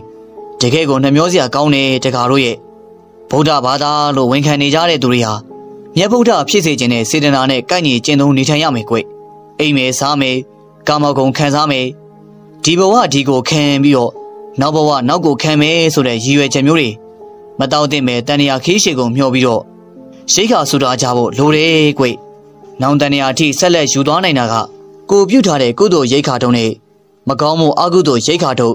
ရေးဒီနှစ်ခုပဲရှိတယ်။ဒါတွေကလွဲရင်ဘာမှမယူနိုင်ဘူးကွ။အဲ့ဒီနေကတော့စာတန်လေးနဲ့ဆက်ဆက်ပြီးအမတ်မထင်ပြောသွားတဲ့တရားလေးကိုတော့ဦးတင်မောင်ကသဘောကျနေမိပါတယ်။ကောင်းမြတ်ကတော့နီနီလင်းကိုမကြာခဏခိုးကြည့်ပြီးတော့ ကြုံကြုံလေးထိုင်ပြီးကိုလေးကိုရှေ့ကိုညှို့ကိုင်းပြီးတော့လက်ကလေးကိုထောင်ငြိမ်ငြိမ်လေးရှိနေပါတယ်။အဲဒီနောက်မှာတော့ပြုလုပ်ထားတဲ့ကုသိုလ်ကောင်းမှုတွေအားလုံးကတာတို့ခေါ်ပြီးတော့အမျှပေးဝေခဲ့ပါတယ်။အဲဒီနေ့ကတော့စနေနေ့ရုံပိတ်ရက်ဖြစ်တာကြောင့်လွန်ခဲ့တဲ့နေ့ရက်ကပဲဦးတင်မောင်ကပြန်သွားခဲ့ပါတယ်။အဲဒီအချိန်ကြီးတော့ကောင်းမြတ်ကအိတ်ခမ်းထဲကိုဝင်ခွင့်မရသေးထမင်းတူစားခွင့်မရသေးပဲအပြင်ကိုလည်းအတူသွားခွင့်မရသေးပါဘူး။သူလေးလာကြည့်သလားကတော့အိမ်မှာသူနဲ့တာအဆင်မပြေဖြစ်ပေမဲ့ အပြင်မှာတော့ဘသူနဲ့မှကြောက်ကစားမဖြစ်ပဲဆက်ဆံရေးကလည်းပုံမှန်ပါဒီမနေ့တော့ကောင်းမြတ်အိယာကနောက်ကျမှနိုးလာပြီးရုံမရဲမှုကြောင့်တမင်အိတ်လိုက်ပါတယ်မျက်နှာတည်ပြီးတဲ့အခါမှာတော့ဒေါ်လာရွှေအသင်းပြင်ပေးထားတဲ့ကော်ဖီကွန်းနဲ့ထမင်းညော့ပကံကိုတွေးလိုက်ပါတယ်ဒေါ်လေးရောစားပြီးပြီလားအေးကွယ်နင်နီနဲ့အတူတူစားလိုက်တယ်သူဘာရီများထူထူထူထူပြောသေးလဲဗျဟမ်အင်းမပြောပါဘူးဟိုထူးခြားတာရှိရင်လည်းကျွန်တော်ကိုပြောတော့အင်းရှိကဇပွဲပေါ်မှာကျွန်တော်ဈေးဖို့ပေးထားတယ် သူစားကျင်တာမေးပြီးတော့ဟိုဒေါ်လေးကြိုက်တာပဲချက်တော့နော်ကျွန်တော်ကတော့ဘာပဲဖြစ်ဖြစ်ရပါတယ်အဲ့ဒီလိုနဲ့ဒေါ်လာရွှေကဈေးကိုထွက်သွားတော့သူကထမင်းညော်စားရင်းနဲ့ကြံရိတ်ခဲ့ပါတယ်ကော်ဖီတောက်နေတဲ့အချိန်မှာပဲနောက်ကခြေတံကြားလို့လှည့်ကြည့်လိုက်တော့နီနီလေးမှာမျောလင့်မထားတာကြောင့်အနှင်းငယ်အံ့ဩသွားပြီးသူမကမလန်မကန်းခုံမှာဝင်ထိုင်လိုက်ပါတယ်နီနီဟိုနေကောင်းတယ်မို့လားနေမကောင်းရအောင်ကျမယူနေလို့လားဟိုဟိုအဲ့ဒီလိုမဟုတ်ပါဘူးမောင်ကအကောင်းနဲ့မေးတာပါ ရှင်အကောင်းမေးတာကျမအတွက်တော့ရွက်ဆောင်နေတယ်လို့ပဲရှင်ကိုကျမပြောစရာရှိတယ်ဟိုမပြောခင်နီနီသုံးနေတဲ့နန်းစားတွေကိုပြောင်းလိုက်ပါလားဟိုနားထောင်ရတာလေခါတက်တက်ဖြစ်နေလို့ဒီအချိန်မှာရှစ်နာရီချိုအောင်လဲကျမပါဇက်ကမလုပ်ပေးနိုင်သေးဘူးကျမကောင်းထဲမှာရှိနေတာစိတ်ဆင်းရဲမှုတွေပဲဟိုမင်းစိတ်ဆင်းရအောင်မောင်ကဘာတွေလုပ်လို့လဲတိတိချာချာနားထောင်ကဲပြောကွာပြောရှင်အဖေစီကအမွေခွဲပါဟမ်ဘဘလို့ကျမပြောတာနားမရှင်းလို့လားထပ်ပြောမယ်ရှင်အဖေစီကအမွေတောင်းတော်လို့ ရှင်အဖေပိုင်နာရီဟာရှင်တို့မောင်နှမနှစ်ယောက်တည်းခွဲယူရမှာဆိုတော့ထောက်ဝက်စီပေါ့မဟုတ်ဘူးလားဘာလဲရှင်အမွေမတောင်းနိုင်ဘူးဆိုတဲ့သဘောလားမဟုတ်ပါဘူးကွာမင်းပြောတာတွေကလောလောဆယ်မဖြစ်နိုင်တာတွေမဟုတ်လို့ပါဘာမှမဖြစ်နိုင်စရာမရှိဘူးသားသမီးတစ်ယောက်အနေနဲ့အမွေတောင်းတာမဖြစ်နိုင်ဘူးလေလားဩမောင်ဆိုလိုတာကအမွေဆိုတာမိဘတင်မှာရပိုင်ခွင့်ရှိတာလေခုကျမအလုပ်ထွက်လိုက်ပြီ ရှင်နဲ့ညာခဲ့တဲ့နှစ်နှစ်ကျော်အချိန်တစ်ခုလုံးရှင်ဖေစီကတပြားတစ်ချက်မှကျမတောင်းခံခဲ့တာမဟုတ်ဘူးကိုအားကိုကိုခဲ့တာခုချိန်မှာကျမအပြင်အလုပ်အတွက်ဘယ်မှစုဆောင်မိလို့လဲဒီတော့အမွေမရလို့မဖြစ်တော့ဘူးမင်းကဘာလို့ရှင်လို့လဲဘာပဲလုပ်လို့လေလက်ထဲမှာငွေစင်သိမ်းရှိနေဖို့ကအရေးကြီးတယ်အေးအေးစစ်စစ်နေပါကွာမောင်ရှာကျွေးပါမယ်တော်စမ်းပါရှင်ရှင်ရဲ့မတောက်တစ်ခေါက်လာစားလေးနဲ့ဘယ်တော့ကြီးပွားမှာလဲမသိုံတော့စားနေရမှာပေါ့ရှင်အစားကမင်းမှာဒီတွေးမရှိပါဘူး ဟုတ်တယ်အစကမတွေးမိတာဖြစ်လိမ့်မယ်ခုဟာကမတွေးလို့ကိုမရတာအဖေကမင်းကိုဘယ်လိုမြင်လို့လဲဘလို့မြင်မြင်လေးအဲ့ဒါကျမတို့အရေးမှမကြီးတာအမွေရရင်မင်းကျင်နေပြီပေါ့တိတ်ကိုကျင်နေပြီသူတပြင်းချလိုက်ပါတယ်အချိန်ကြီးတွေကတော့တာမန်မဟုတ်တော့ပဲအရင်ကဆိုရင်တော့ဒီလိုပြောဖို့နေနေတတ်တာရှော့ခမကိုဒုက္ခမပေးချင်ပါဘူးဆိုတဲ့စကားတွေကိုပဲခဏခဏပြောနေပါတယ်တကယ်အစင်းစင်းမှာတော့သူ့ရဲ့အဖေကလည်းအလွန်မင်းချမ်းသာသူတယောက်မဟုတ်ပဲလိမ္မော်ချမ်းတစ်ချမ်းဝယ်ထားတဲ့မြေလေးအနေပါနဲ့ အမေရဲ့လက်ထက်ကကြံခဲ့တဲ့စင်ဒီစင်စာဒီလောက်ပဲရှိပါတယ်မင်းတခုခုလှုပ်ချင်တယ်ဆိုရင်လေမောင်းဖေးစီကနေလှည့်ပေးပါမယ်လှည့်ရယ်ဆိုတာချေးတာနဲ့အတူတူပဲလေအပိုင်ရတာမှမဟုတ်တာအမွေဆိုတော့ပြက်ရောဒီတုန်းမှပဲအနီရောင်ညိုပုတ်ပုတ်ဝစ်စုံနဲ့တာတီလန်အောင်ရုပ်ဆိုးပြီးတော့အလောင်းသားမှာရှင်အိမ်လိုက်တဲ့ဝင်းရင်ကိုသူသတိရမိပါတယ်ဒီမဲ့ကောင်းမြတ်ရှင်ကျမကိုတကယ်ချစ်တာကိုဟုတ်သေးရဲ့လားမင်းမောင်းကိုရှော့တတ်နေရလားနီနီရှော့တက်တာမဟုတ်ပါဘူးခက်တင်းတင်းလေးမေးလိုက်တာပါ မင်းကိုမောင်းချစ်လုံးအားကြီးလို့အရာရာတိတ်ခတ်ပြီးတော့နေတာနော်ဒါတွေမင်းအားလုံးသိပါတယ်ကျမသိရဲ့ဟုတ်လားမသိပါဘူးအိုးဘာမှမသိပါဘူးမင်းတကယ်မသိရလားမသိပါဘူးဆိုခတ်တော့ခတ်နေပါပြီမင်းကရောမောင်းကိုတကယ်မချစ်ဘူးလားဒါကတော့ရှင်းလုံးရဲ့ပုံမှာမူတည်ရဲ့လေကျမရှင့်ကိုချစ်တယ်မချစ်ဘူးဆိုတာရှင့်ရဲ့စွမ်းဆောင်မှုပေါ်မှာပဲပြောရမလို့ပဲဥပမာရှင်ကရှင့်အဖေနဲ့ရှင့်ညမပေါ်ချစ်တာတဲ့ကျမကိုပိုချစ်တယ်ဆိုရင်ပေါ့လေ ဘာဘာဆိုင်လို့လဲနီနီရဲ့ရှင့်အတွက်မဆိုင်မိမဲ့ကျမတို့တော့တိတ်ကိုဆိုင်နေကောင်းမြတ်ဆက်ပြောနေရင်တော့ဘာမှအကြောင်းထူးလာမှာမဟုတ်မှန်းသိနေပါတယ်အခုတွေ့နေရတဲ့ခက်ခဲကအရင်တုန်းကသူချစ်ခဲ့ရတဲ့နီနီရဲ့စိတ်နီနီရဲ့ခန္ဓာကိုယ်နဲ့တသားတည်းဖြစ်နေပါတယ်အရင်တုန်းကနီနီကညီမဖြစ်သူနဲ့မတည့်တာကလွဲပြီးတော့စိတ်ထားလှပါတယ်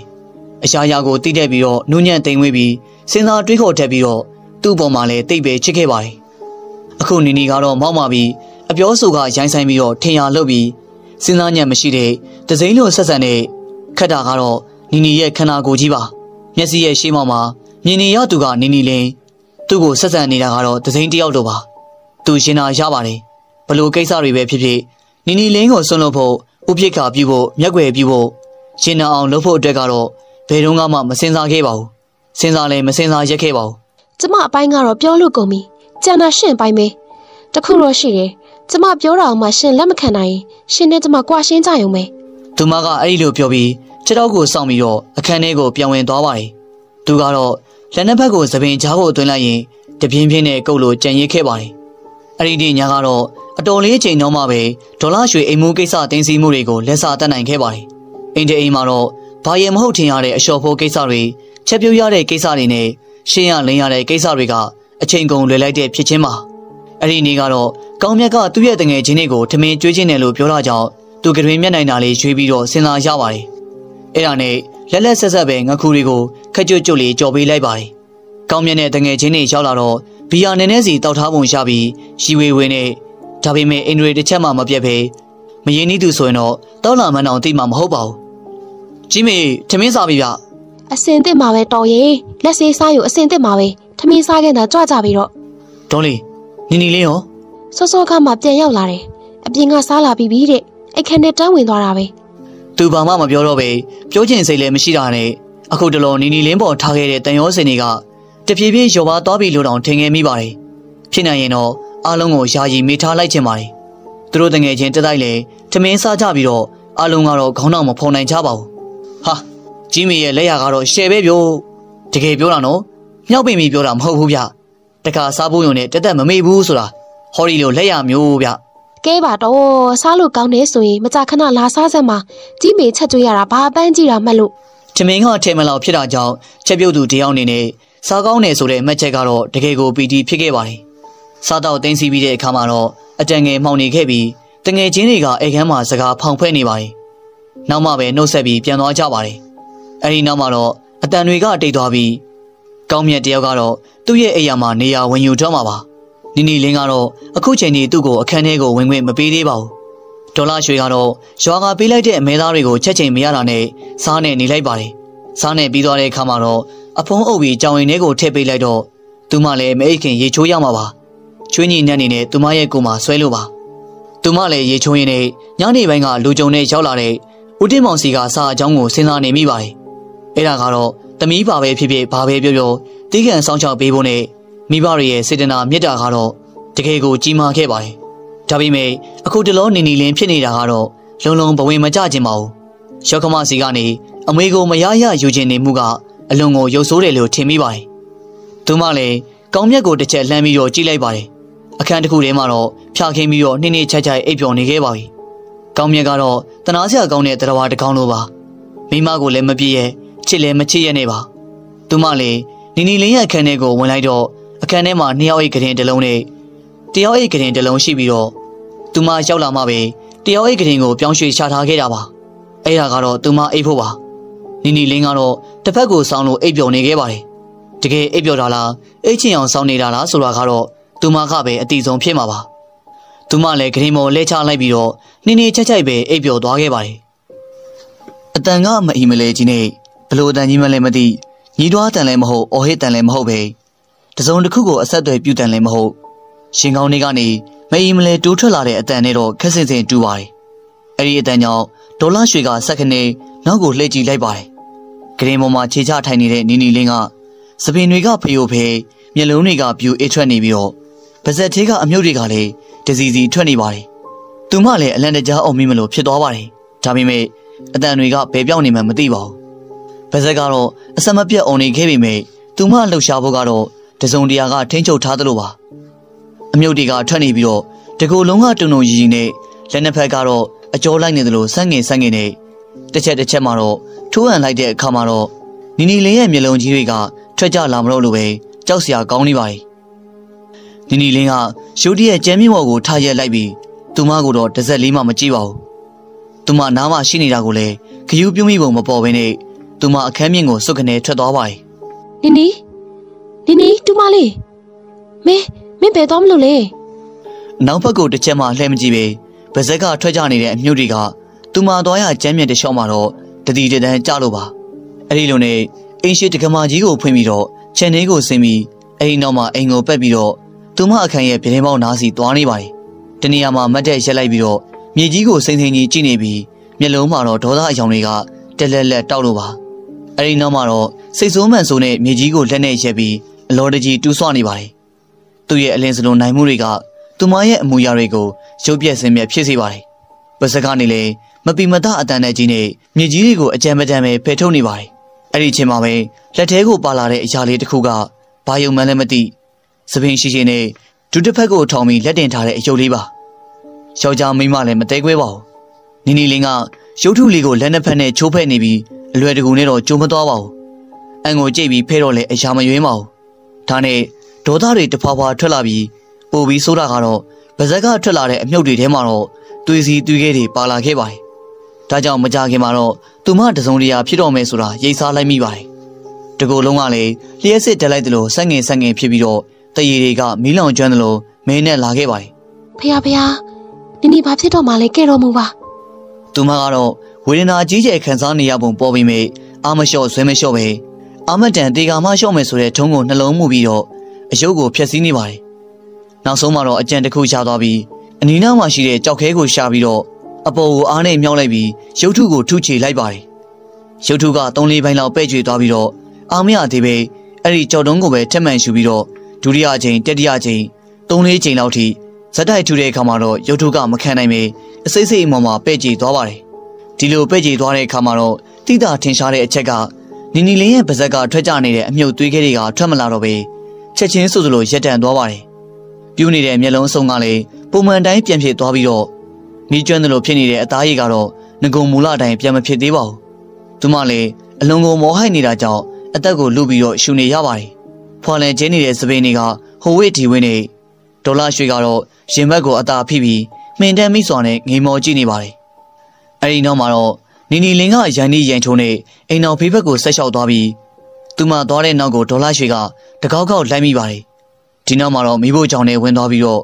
အစင်အမြဲဆိုသလိုစိတ်ယုံသာစိတ်ထားတဲ့တကားဖြစ်တာကြောင့်အလွယ်တကူပဲဝင်နိုင်ခဲ့ပါတယ်။အဲဒီနောက်မှာတော့စားနေထားတဲ့အမေသားပကံကိုယူလိုက်ပြီးနှာခေါင်းနဲ့တစ်ချက်နမ်းကြည့်ပြီးတော့ဘဝင်ကျသွားတဲ့အမူအရာနဲ့တဒုံမီတဒုံအငမ်းမရစားသုံးခဲ့ပါတယ်ဖះဖះအမေသားစိတ်တွေစားနေပါလား။စားနေတာက တကယ်ကိုအားပါတရပါ။တိတ်တောင်မဝါပဲအတင်းကိုမြူချနေတဲ့မြင်ကွင်းကအသေးရစရာကောင်းလာပါတယ်။ဒီတော့မှပဲဒေါ်လာရွှေအိမ်မက်ကနေဖြက်ကနေလန်နိုးလာပါတယ်။တကူလုံးမှလည်းချွေးတွေကရွှဲပြီးတော့ဂရင်မက်ကိုလှမ်းကြည့်လိုက်တော့နီနီလင်းကကွေးကွေးလေးအိတ်နေတာပါ။သူမလည်းတပြင်းကိုအသာချပြီးတော့တကူလေးရေယုံမိပါတယ်ငါနဲ့တော့ဘလို့အိမ်မက်တွေမက်နေတာပါလေ။အဲဒီနောက်မှာတော့အိမ်မက်ကျောင်းကိုပြန်တွေ့လိုက်ပြီးရုပ်ထုထူးချင်နေတဲ့နီနီလင်းရဲ့ပုံရိပ်တွေမီးလောင်ကျွမ်းနေတဲ့အသားရည်တွေ အမဲသားတွေကိုမြင်ရင်ရှက်ရည်စားနေတဲ့အဖြစ်အပျက်တွေသူမလည်းခေါင်းကိုအသာခါရမ်းပြီးတော့ကတင်ပေါ်မှာငုတ်တုတ်ထိုင်ပြီးခြေတစ်ခွဲတောက်ဖို့စိတ်ကူးလိုက်ပါတယ်။ကြောကြောတယောက်ကတော့ဈေးဝယ်ထွက်လာခဲ့ပြီးသူမတို့ရဲ့ဈေးလေးကကြီးကျယ်ခမ်းနားမှုအသွင်မဆောင်ခဲ့ပေမဲ့ပစ္စည်းကတော့စုံခဲ့ပါတယ်။သူမလည်းဈေးရဲ့မြောက်ဘက်ကိုတဖြည်းဖြည်းရှောက်လာခဲ့ပြီးတော့တိုးတိုးဝေးဝေးလူတွေကြောင့်မနှဲကိုတတိထားရှောင်နေရပါတယ်။အဲဒီလိုနဲ့လူရှင်တဲ့လန်တစ်ဖက်ကိုခြောက်လာခဲ့လိုက်ပြီးအဲဒီအချိန်မှာတော့ ကြောကြောရဲ့ညာဘက်ပခုံးပေါ်ကိုလက်တစ်ဖက်ကခက်ဆက်ဆက်လေးရှောက်လာပါတယ်။လက်ကအလွန်ကိုအေးဆက်ပြီးရေခဲတဲ့မြအိင်းနေခြင်းကသူမကိုအလွန်ထိတ်လန့်သွားစေပါတယ်။လျှက်တစ်ပြက်ဆိုသလိုဖြစ်ပေါ်လာတဲ့ဗီဇညင်ကထိုလက်ကိုအလိုလိုပုတ်လိုက်ပါတယ်။ဒီနောက်မှာတော့ကြပြကြရလှည့်ကြည့်လိုက်တော့သူမကိုစူးစူးဆိုင်ဆိုင်ကြည့်နေတဲ့နီနီလင်းမှာမျက်နှာကပုံမှန်ရုံမဟုတ်ပဲ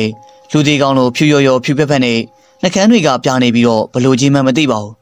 အခုချိန်မှာတော့သူမနဲ့ပတ်သက်စရာဘာအကြောင်းမှမရှိ တွေ့ကြလည်းမလို့အခုတော့သူမစီကိုရှောင်းနေပါတယ်တခြားချင်းတွေမျိုးဆိုရင်တော့ရန်တွေ့မှာဖြစ်ပေမဲ့သူမရဲ့မျက်နှာသေးကြီးကကြိုးကြိုးကိုထိတ်လန့်သွားစေပါတယ်အဲ့ဒါကြောင့်သူဘာမှစကားမပြောနိုင်ပဲနောက်ကိုပဲခက်သွက်သွက်လေးပြေးထွက်သွားပါတယ်အတန်ငယ်လှမ်းတော့နောက်ကိုတစ်ချက်ကြည့်လိုက်ပါတယ်နီနီလင်းကတော့သူမရဲ့နောက်မှာထက်ချက်မကွာလိုက်ပါလာတော့မှ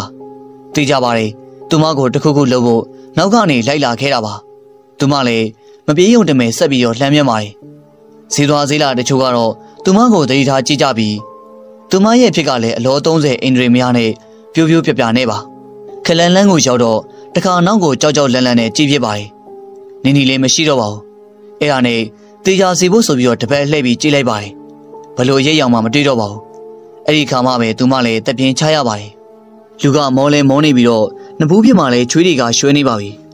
ရှင်အောင်မော်ကနှလုံးခုန်တန်ကလည်း အတိုင်းသာကြားနေရပြီးတော့ဈေးလဲဆက်ပြီးမဝဲကျင်တော့တာနဲ့အိမ်ကိုပြန်လာခဲ့လိုက်ပါတယ်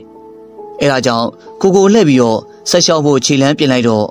ရှစ်တဲ့တဲ့မှာမမကြီးရက်နေတဲ့နီနီလင်းကတော့မျက်လုံးသိကြီးတွေနဲ့ပါမူမူကတော့ကြောကြောပြောသမျှကိုတန်အံတော်နဲ့နားထောင်နေပြီးတင်မလက်ကလက်ကိုနောက်ပြပြီးတော့ခောက်တော့ကောက်ပြန်လျှောက်ပြီးတစုံတရာကိုစဉ်းစားနေပါတယ်အဲ့ဒီလိုပြုံးကနေရှေ့တက်တဲ့မှာလဲတွေ့ရောနေတအားမကြောက်သွားဘူးလားကြောက်ယုံနေမကောက်ဘူးအသက်တောင်ဘယ်ကထွက်ရမှန်းမသိဘူး ဒါနဲ့နောက်ကျောင်းကိုပြန်လှည့်ပြေးခဲ့ရတာပေါ့သူ့ကိုတော့လူတွေကြည့်မနေဘူးလားသူ့ကိုမြင်မုံမရဘူးနေဆိုလိုတာကဘာပြောရမှန်းမသိတော့ဘူးမူမူရဲ့သူနဲ့ကိုဘာလုပ်မယ်ထင်လဲဘယ်သိပါမလဲငါးစိတ်ထဲမှာတော့လက်ဘေးညစ်မယ်လို့ပဲမှတ်နေရဲ့လူကြားထဲမှာလုံရဲပါမလားဒါတော့မပြောတတ်ဘူးဒါစိန်ခေါ်မှုအစ်စ်ကိုစတင်လိုက်တာပဲဘလို့မလက်စိန်ခေါ်မှုအစ်စ်ဟုတ်လား သူရုပ်ထုကိုတွေ့သွားပြီထင်နေရုပ်ထုရှိနေသူမကြော်ဒီလိုဘယ်လုပ်ရဲပါမလဲဟုတ်တယ်နော် तू ကဘာကိစ္စတွေ့နိုင်မှာလဲအဲ့ဒါတော့မလက်လည်းမခက်မှန်းတတ်ဘူးဒါပေမဲ့စိတ်မပူပါနဲ့ကြော့ကြော့ကိုနောက်ထပ်အနှောက်အယှက်ထပ်မပေးစီရပါဘူးမလက်အကောင်းဆုံးအဆောင်ဆွဲကြိုးလေးလုပ်ပေးထားမယ်မကြော်ကိုနဲ့မကွာစောင့်ထားပြီတော့အကူပါရဲ့မလက်ရဲ့မလက်ကတော့မနှောက်ယှက်ရုံနဲ့မကျေနပ်နိုင်သေးဘူးနီနီလေးဟာနီနီလေးအစ်စ်မဟုတ်ဘူးဆိုတာတော့အကောင်းဆုံးသက်သေပြရမှာပဲ ဘလို့သက်သေပြမှာလဲစောက်ကြည့်လေဒါမလက်ရဲ့အစွမ်းထက်ဆုံးစူးစမ်းမှုပဲဖြစ်လိမ့်မယ်ကဲပါပြီးခဲ့တာတွေခေါင်းထဲကထုတ်လိုက်ပါတော့ဒါကိုအစွဲလန်းလုပ်နေကိုပဲဒုက္ခရောက်လိမ့်မယ်မလက်ကသူမကိုနှစ်သိမ့်ပြီးပြီးမလက်ကဘာပဲပြောပြောသူမရဲ့စိတ်ထဲမှာတော့လူသေးကောင်မျက်နှာကြီးနဲ့နီနီလင်းကိုပဲပြန်ပြီးတော့မြင်အောင်နေမိပါတယ်။ဥပမြိုင်တယောက်ဂျာနယ်ဟောင်းတစ်ဆောင်ကိုစိတ်ပါလက်ပါဖတ်နေပြီးတော့သူဖတ်နေတဲ့အကြောင်းအရာကမြေအောက်မှာပိတ်မိနေတဲ့ချီလီမိုင်းလို့သားတွေ ဘလို့အသက်ရှင်နေထိုင်ခဲ့လဲဆိုတဲ့အကြောင်းအရာပါ။ဒီတော့မှပဲနားရင်းကိုခြေတံတစ်ခုတိုးဝင်လာပြီးမျက်ခုံလေးကိုအသာဖွင့်ကြည့်လိုက်ပါတယ်။မျောလင့်မထားတဲ့လူတစ်ယောက်ပါ။ဟေးနီနီပါလားကွယ်။သူကပြောပြောဆူဆူနဲ့ကိုကိုမတ်လိုက်ပြီးအရေးတကြီးအကြောင်းကိစ္စမရှိဘဲနဲ့အိမ်ကိုဘယ်နည်းနဲ့မှလာမှာမဟုတ်တဲ့ချွေးမလေးတမီးနဲ့အဆင်မပြေခဲ့ပေမဲ့သူကတော့အရာရာသိခံပြီးပေါင်းခဲ့တာကြောင့်နှစ်ယောက်ကြားမှာဘာပြဿနာမှမရှိခဲ့ပါဘူး။ဝင်ငယ်လေးတမီးရဲ့ตาရောမပဘူးလား။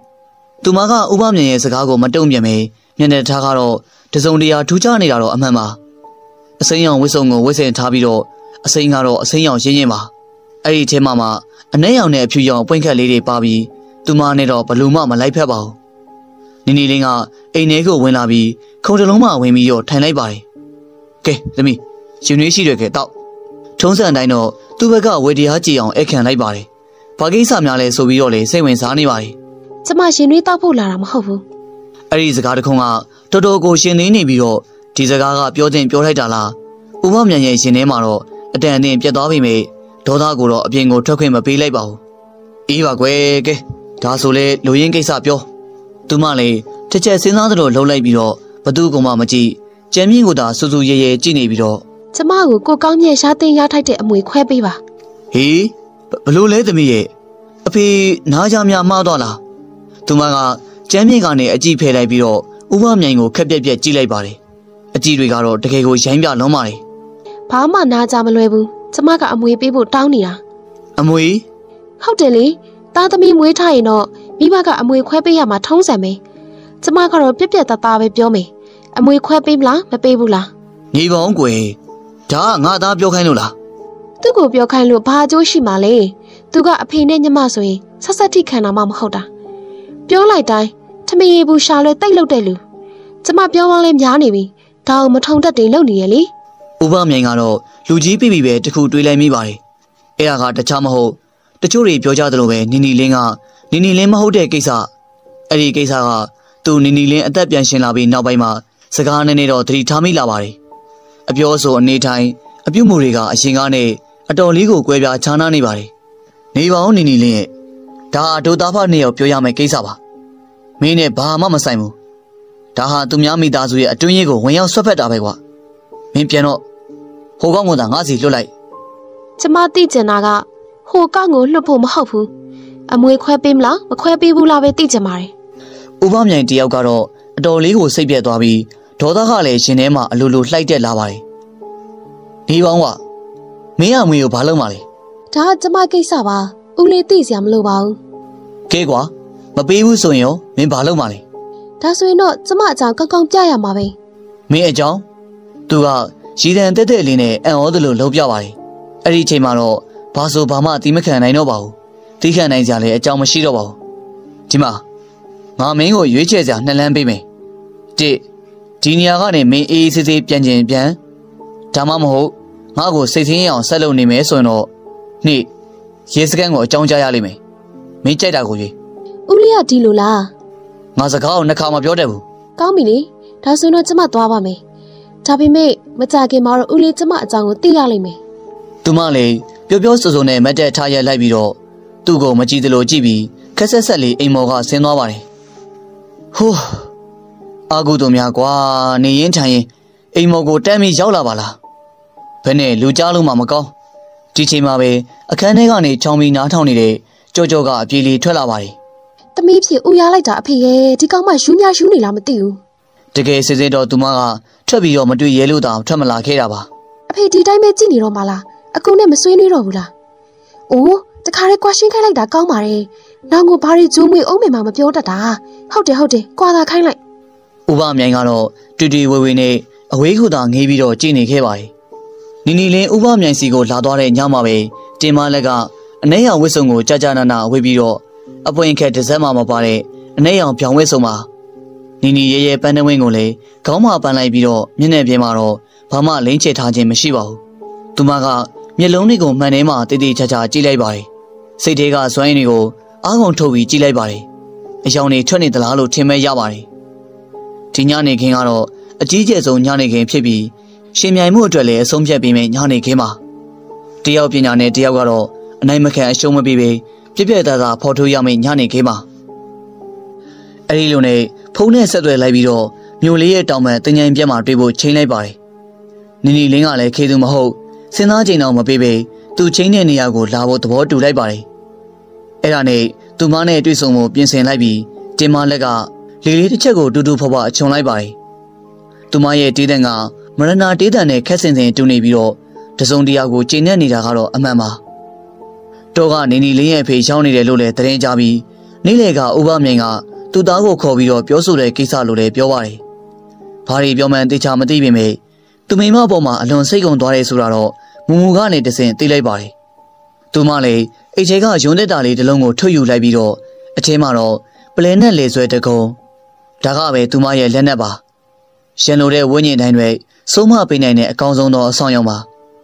လေတိုင်းမှာကြကြနာနာဆွဲလိုက်ပြီးတော့ ဖြူဝင်းနေတဲ့သူမရဲ့လေတိုင်းနဲ့တော့အရန်ကိုကြည်ကောင်းလို့နေခဲ့ပါတယ်။မလက်ဒါပဲလေအခန်းထဲကိုဝင်လာတဲ့မူမူကတန်းအတော်မေးလိုက်ပါတယ်အပြင်သွားစရာရှိလို့မမူရဲ့။မလက်အပီးပြန်มาတော့မဟုတ်ပါဘူးနော်။ပြန်လာတော့မကြခင်ပြန်ရတော့မယ်မမူ။ဘာကြောင့်လဲဆိုတော့မလက်ပြန်ချိန်တက်ပြီလေ။ဟေးဒါဆိုဟိုကိစ္စမလက်ကလက်လေးကိုအသာကာပြလိုက်ပါတယ် ဒီတက်တော့ဘာမှမပူနဲ့မလက်တောင်းဝင်ယူထားတဲ့အလုပ်မလက်ပြီးဆုံးအောင်လုပ်သွားမယ်။မမူစိတ်ချလက်ချတာနေကဲမလက်အပြင်သွားလိုက်အောင်မယ်တင်မလက်လည်းလက်ပွေးအိတ်လေးကိုယူပြီးတော့အပြင်ကိုထွက်သွားလိုက်ပါတယ်မမူကတော့သူမကိုကြည့်ပြီးဇဝေဇဝါဖြစ်လို့ကြံခဲ့ပါတယ်မကြခင်မိုးချုပ်တော့မှဖြစ်ပြီးတော့ဒီလိုအချိန်မျိုးမှာဒီလိုအနေထားနဲ့ထွက်သွားတာကတကယ်ကိုထူးဆန်းနေပါတယ်အဲ့ဒါနဲ့စိတ်ထဲမှာမယိုမယွဖြစ်လာပြီးကြော်ကြော်တို့ရဲ့အိမ်မက်ကိုကူးလာပြီးတော့ကြော်ကြော်ကိုလည်းအစင်းစင်းတွေ့လာနေ ဟဲ့မကြော့မလက်ရဲ့နေရလိမ့်စာကိုညို့ကိုပေးထားတယ်နော်အေးလေအဲ့ဒါဘာဖြစ်လဲတကယ်လို့သူပြန်သွားတဲ့အခါလမ်းကြုံဝင်တယ်လို့ရအမတ်တရတောင်းထားတာလေဒါတော့မလက်ကပေးချင်တယ်လို့လို့မပေးချင်တယ်လို့လို့ဒါဖြစ်သူတကယ်ပြန်သွားတာတော့မဟုတ်ပါဘူးနော်တကယ်ပြန်နေဆိုရင်သူ့ပစ္စည်းတွေရှူသွားမှာပေါ့သူ့အဝယ်စားကများများဆဆမှမဟုတ်တာမဖြစ်နိုင်ပါဘူးသူတနေရာရာကိုသွားတာနေမှာပေါ့စောင့်နေငါတို့ပြန်လာလိုက်မယ်ထင်တယ်မူမူတယောက်ကတော့ မဝေခွဲတတ်အောင်ကိုဖြစ်နေခဲ့ပါတယ်မြို့ရဲ့တောင်မဲ့တင်ញိုင်ကုန်းမှာတိတ်ဆိတ်ငြိမ်သက်လုံနေပြီးတော့တင်ញိုင်ဟောင်းဖြစ်နေပြီးခူဖောက်သူတချို့ရဲ့လက်ချက်ကြောင့်တချို့အုပ်ကူတွေကအပြိုပြိုအပြက်ပြက်နေမလန်မကန်းမှရှိတဲ့ဇရက်ကြီးကလည်းအမိုးတချို့မရှိတော့သလိုအခင်းကလည်းဟောင်းလောင်းနေပါမှန်မှန်လျှောက်လာတဲ့ခြေလမ်းတစ်ခုကမြက်ခင်းတွေကိုနင်းဖြတ်လာပြီးကြောက်ခဲမြစ်တွေကိုနင်းပြီးတော့ကုန်းကမှုမြေကွက်လက်လေးတနေရာရောက်တော့ခြေစုံကိုရက်တန့်လိုက်ပါတယ်သူမကတော့အနေရောင်ဝစ်စုံပိုက်ရှင်တင်မလက်ပါ လက်ပွေအိတ်လေးကိုတော့ညာဘက်လက်နဲ့ကင်ထားပြီးတစ်ချိန်လုံးကစော်ဝါကတော့တိတ်ဆုံးခဲ့တဲ့အုတ်ကူကြီးရဲ့ရှေ့မှာချင်းဆိုလိုက်ပါတယ်အဲ့ဒီအုတ်ကူကတော့အလွန်တရာကိုခမ်းနားလှပြီးစော်ဝါနယ်တော်တွေဖြစ်တာကြောင့်အုတ်ကူကိုလှုပ်ထားတဲ့ပြည်သူကလက်ရာခါလေစုလစ်မုံချုံတို့နဲ့အံပနံဖြစ်နေခဲ့ပါတယ်ဒီတော့မှပဲစက်ညင်မဲ့ရက်စီကရှောက်လန်းလာတဲ့ခြေလန်းတစ်စုံသူမကတော့အနီရောင်ဝစ်စုံပိုင်ရှင်နီနီလင်းပါသူမရဲ့ခြေလန်းတွေကရဲပြက်ပြက်ရှိလာပြီးတုံဆန်းခြင်းမရှိ တုံနေခြင်းမရှိ တွေ့ဝေခြင်းအလင်းမရှိပါဘူးနီနီလင်းကသပင်ကိုဖားလာရှပြီးဝစ်စုံနီရောင်ကတောက်ပလွန်အားကြီးနေပါတယ်သူမကလည်းမျက်နှာပြင်ပေါ်ဘာမှလိမ့်ချထားခြင်းမရှိထူးခြားမှုတစ်ခုကတော့ဘယ်ဘက်လက်မှာအနီရောင်ပရိကုံးလေးတွေကိုဝစ်စင်ထားပါတယ်တဖြည်းဖြည်းရှောက်လာရင်းနဲ့တင်မာလက်နဲ့မနီမဝေးကိုရှောက်လာခဲ့ပါတယ်အဲဒီနောက်မှာတော့ခြေစုံကိုရက်ပစ်လိုက်ပါတယ်တယောက်မျက်ဝင်းတွေကတယောက်ရဲ့မျက်ဝင်းကိုစူးစူးဆိုင်ဆိုင်ကြည့်နေပြီးတော့ပေါက်ထွက်တော့မတက်လွင့်ထွက်တော့မတက်ပါအခုချိန်ကညီရဲ့နောက်ဆုံးအချိန်တွေပဲ တင်မာလက်ကအိဆက်မာထန်တဲ့အတန်နဲ့ပြောလိုက်ပြီးဒီတော့မှပဲလေးတဲ့ချက်ကဝိုက်ခနဲ့လူးလိမ့်လာပြီးတော့အဝေးကိုပြေးထွက်သွားပါတယ်နင်ကတော့အပေါ်တွေပြောမနေနဲ့ငါအကြောင်းလည်းနင်ကောင်းကောင်းသိတယ်မို့လားဟာဟာဟာနင်ငါ့ကိုချိန်တာစိန်ခေါ်လိုက်တာပဲမစိုးပါဘူးသဘောပေါက်လွယ်တာပဲနင်ကသူတစ်ပားရဲ့ကိုရေးကိုလာတဲ့ကိုတက်တက်ဝင်လျှောက်တာနင်လုံပုံကင်ပုံတွေကိုလည်းပြန်ကြည့်အောင်လေလူတွေတိုင်းကိုလိုက်ဒုက္ခပေးနေတဲ့မိန်းမနင့်ရွယ်ချက်ကဘာလဲ ဒါနင်သိကြလို့ရလို့လားကဲဒါဆိုလည်းတခြားဘာမှပြောမနေတော့ဘူးနင်ဘဝအမှန်ကိုနင်ပြန်ရောက်သွားရင်အခုဖြစ်နေတဲ့ကိစ္စတွေအားလုံးရှင်းတော့မှာနင်ကတော့လှုပ်ချင်တိုင်းလှုပ်လို့ရမယ်ထင်လားဒါဆိုစောက်ကြည့်လေနီနီလင်းကရုတ်တရက်ဆိုသလိုလှုပ်ရှားလိုက်ပြီးတော့သူမကလက်ကောက်မှာဝှက်ဆင်ထားတဲ့အနီရောင်ဘရေးစီတွေကိုအလင်းမြန်ချွတ်လိုက်ပြီးတော့သူမရဲ့လှုပ်ရှားမှုကတကယ်ကိုတွက်လက်မြန်ဆန်ခဲ့ပါတယ်အဲဒီနောက်မှာတော့တင်မလက်စီကိုချိန်ရွယ်ပြီးတော့ပြေလို့လိုက်ပါတယ် မှန်လက်စာကောင်းလို့လားမသိပါဘူးရင်ညုံတွေကိုထိမှန်သွားပြီးတော့ပရီလုံးလေးတွေကဘလို့အစီမံတွေစီမံထားလဲမသိပါဘူးထိလင်ထိချင်းမှပဲတင်မလက်ရဲ့ခန္ဓာကိုယ်ကအနောက်ဘက်ကိုလွင့်ဆင်သွားပြီးတော့ဖိထိုင်လဲကျသွားပါတယ်နီနီလင်းကအောင်နိုင်သူတယောက်လိုပဲခေါင်းဝမောပြီးတော့ခွတ်တိုးခွက်လန်ရှီမောလိုက်ပါတယ်ဟာဟာဟာဒီမေညီမြဲမြဲမှတ်ထားရမှာကညီထင်တယ်လို့ငါကအငားခန္ဓာကိုယ်တွေကိုဝင်နေတဲ့မိမတယောက်ဆိုတာငါမငင်းပါဘူး ဟုတ်တာမှတိတ်ကိုဟုတ်တာပေါ့လို့ပြောလို့ရတယ်ဘာကြောင့်လဲဆိုတော့နီနီလေးဟာငါရဲ့တူမဖြစ်နေလို့ပဲဘယ်ရမဆိုငါတူမကိုကူညီရမယ်ကာဝေရမယ်သူ့ရှင်ထဲမှာရှိနေတဲ့ဘလို့ဆန္ဒမျိုးကိုမဆိုငါလှုပ်ပေးဖို့ဝင်မလိမ့်ဘူးအထီးကငါတူမမုန်းနေတာကြော့ကြော့ဆိုတဲ့ကောင်မပဲ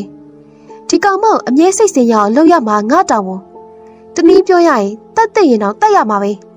ဒီကောင်မကြောင့်သူနဲ့ဆက်နွယ်နေတဲ့လူတွေပါကုန်ရတာဒါကိုမစီမဆိုင် ညီကဆရာကြီးလုပ်ပြီးသူများဆက်လန်နဲ့ဝင်ပါကျင်ရတာဆိုတော့မလွန်လုံးမို့လားလူတိုင်းဟာကိုယ့်အလုပ်ကိုယ်လုပ်ရတယ်အေးမဆိုင်တာတွေဝင်ရှုပ်ရင်ဒုက္ခရောက်တတ်တယ်ဆိုတာညီခုတော့သဘောပေါက်ပြီမလားခုတော့ကိုဖြစ်ကိုခံလေဟာဟာဟာဟာတင်မလက်ကတော့လေကြယုံနေမကပဲသူရိကလည်းတဝဝနဲ့ထိုးအပ်နေပါတယ်ဒါပေမဲ့သူမရဲ့မျက်နှာမှာတော့အရှုံးပေးမှုဆိုတာအရေးအယောင်တစ်စက်လေးမှမရှိပါဘူး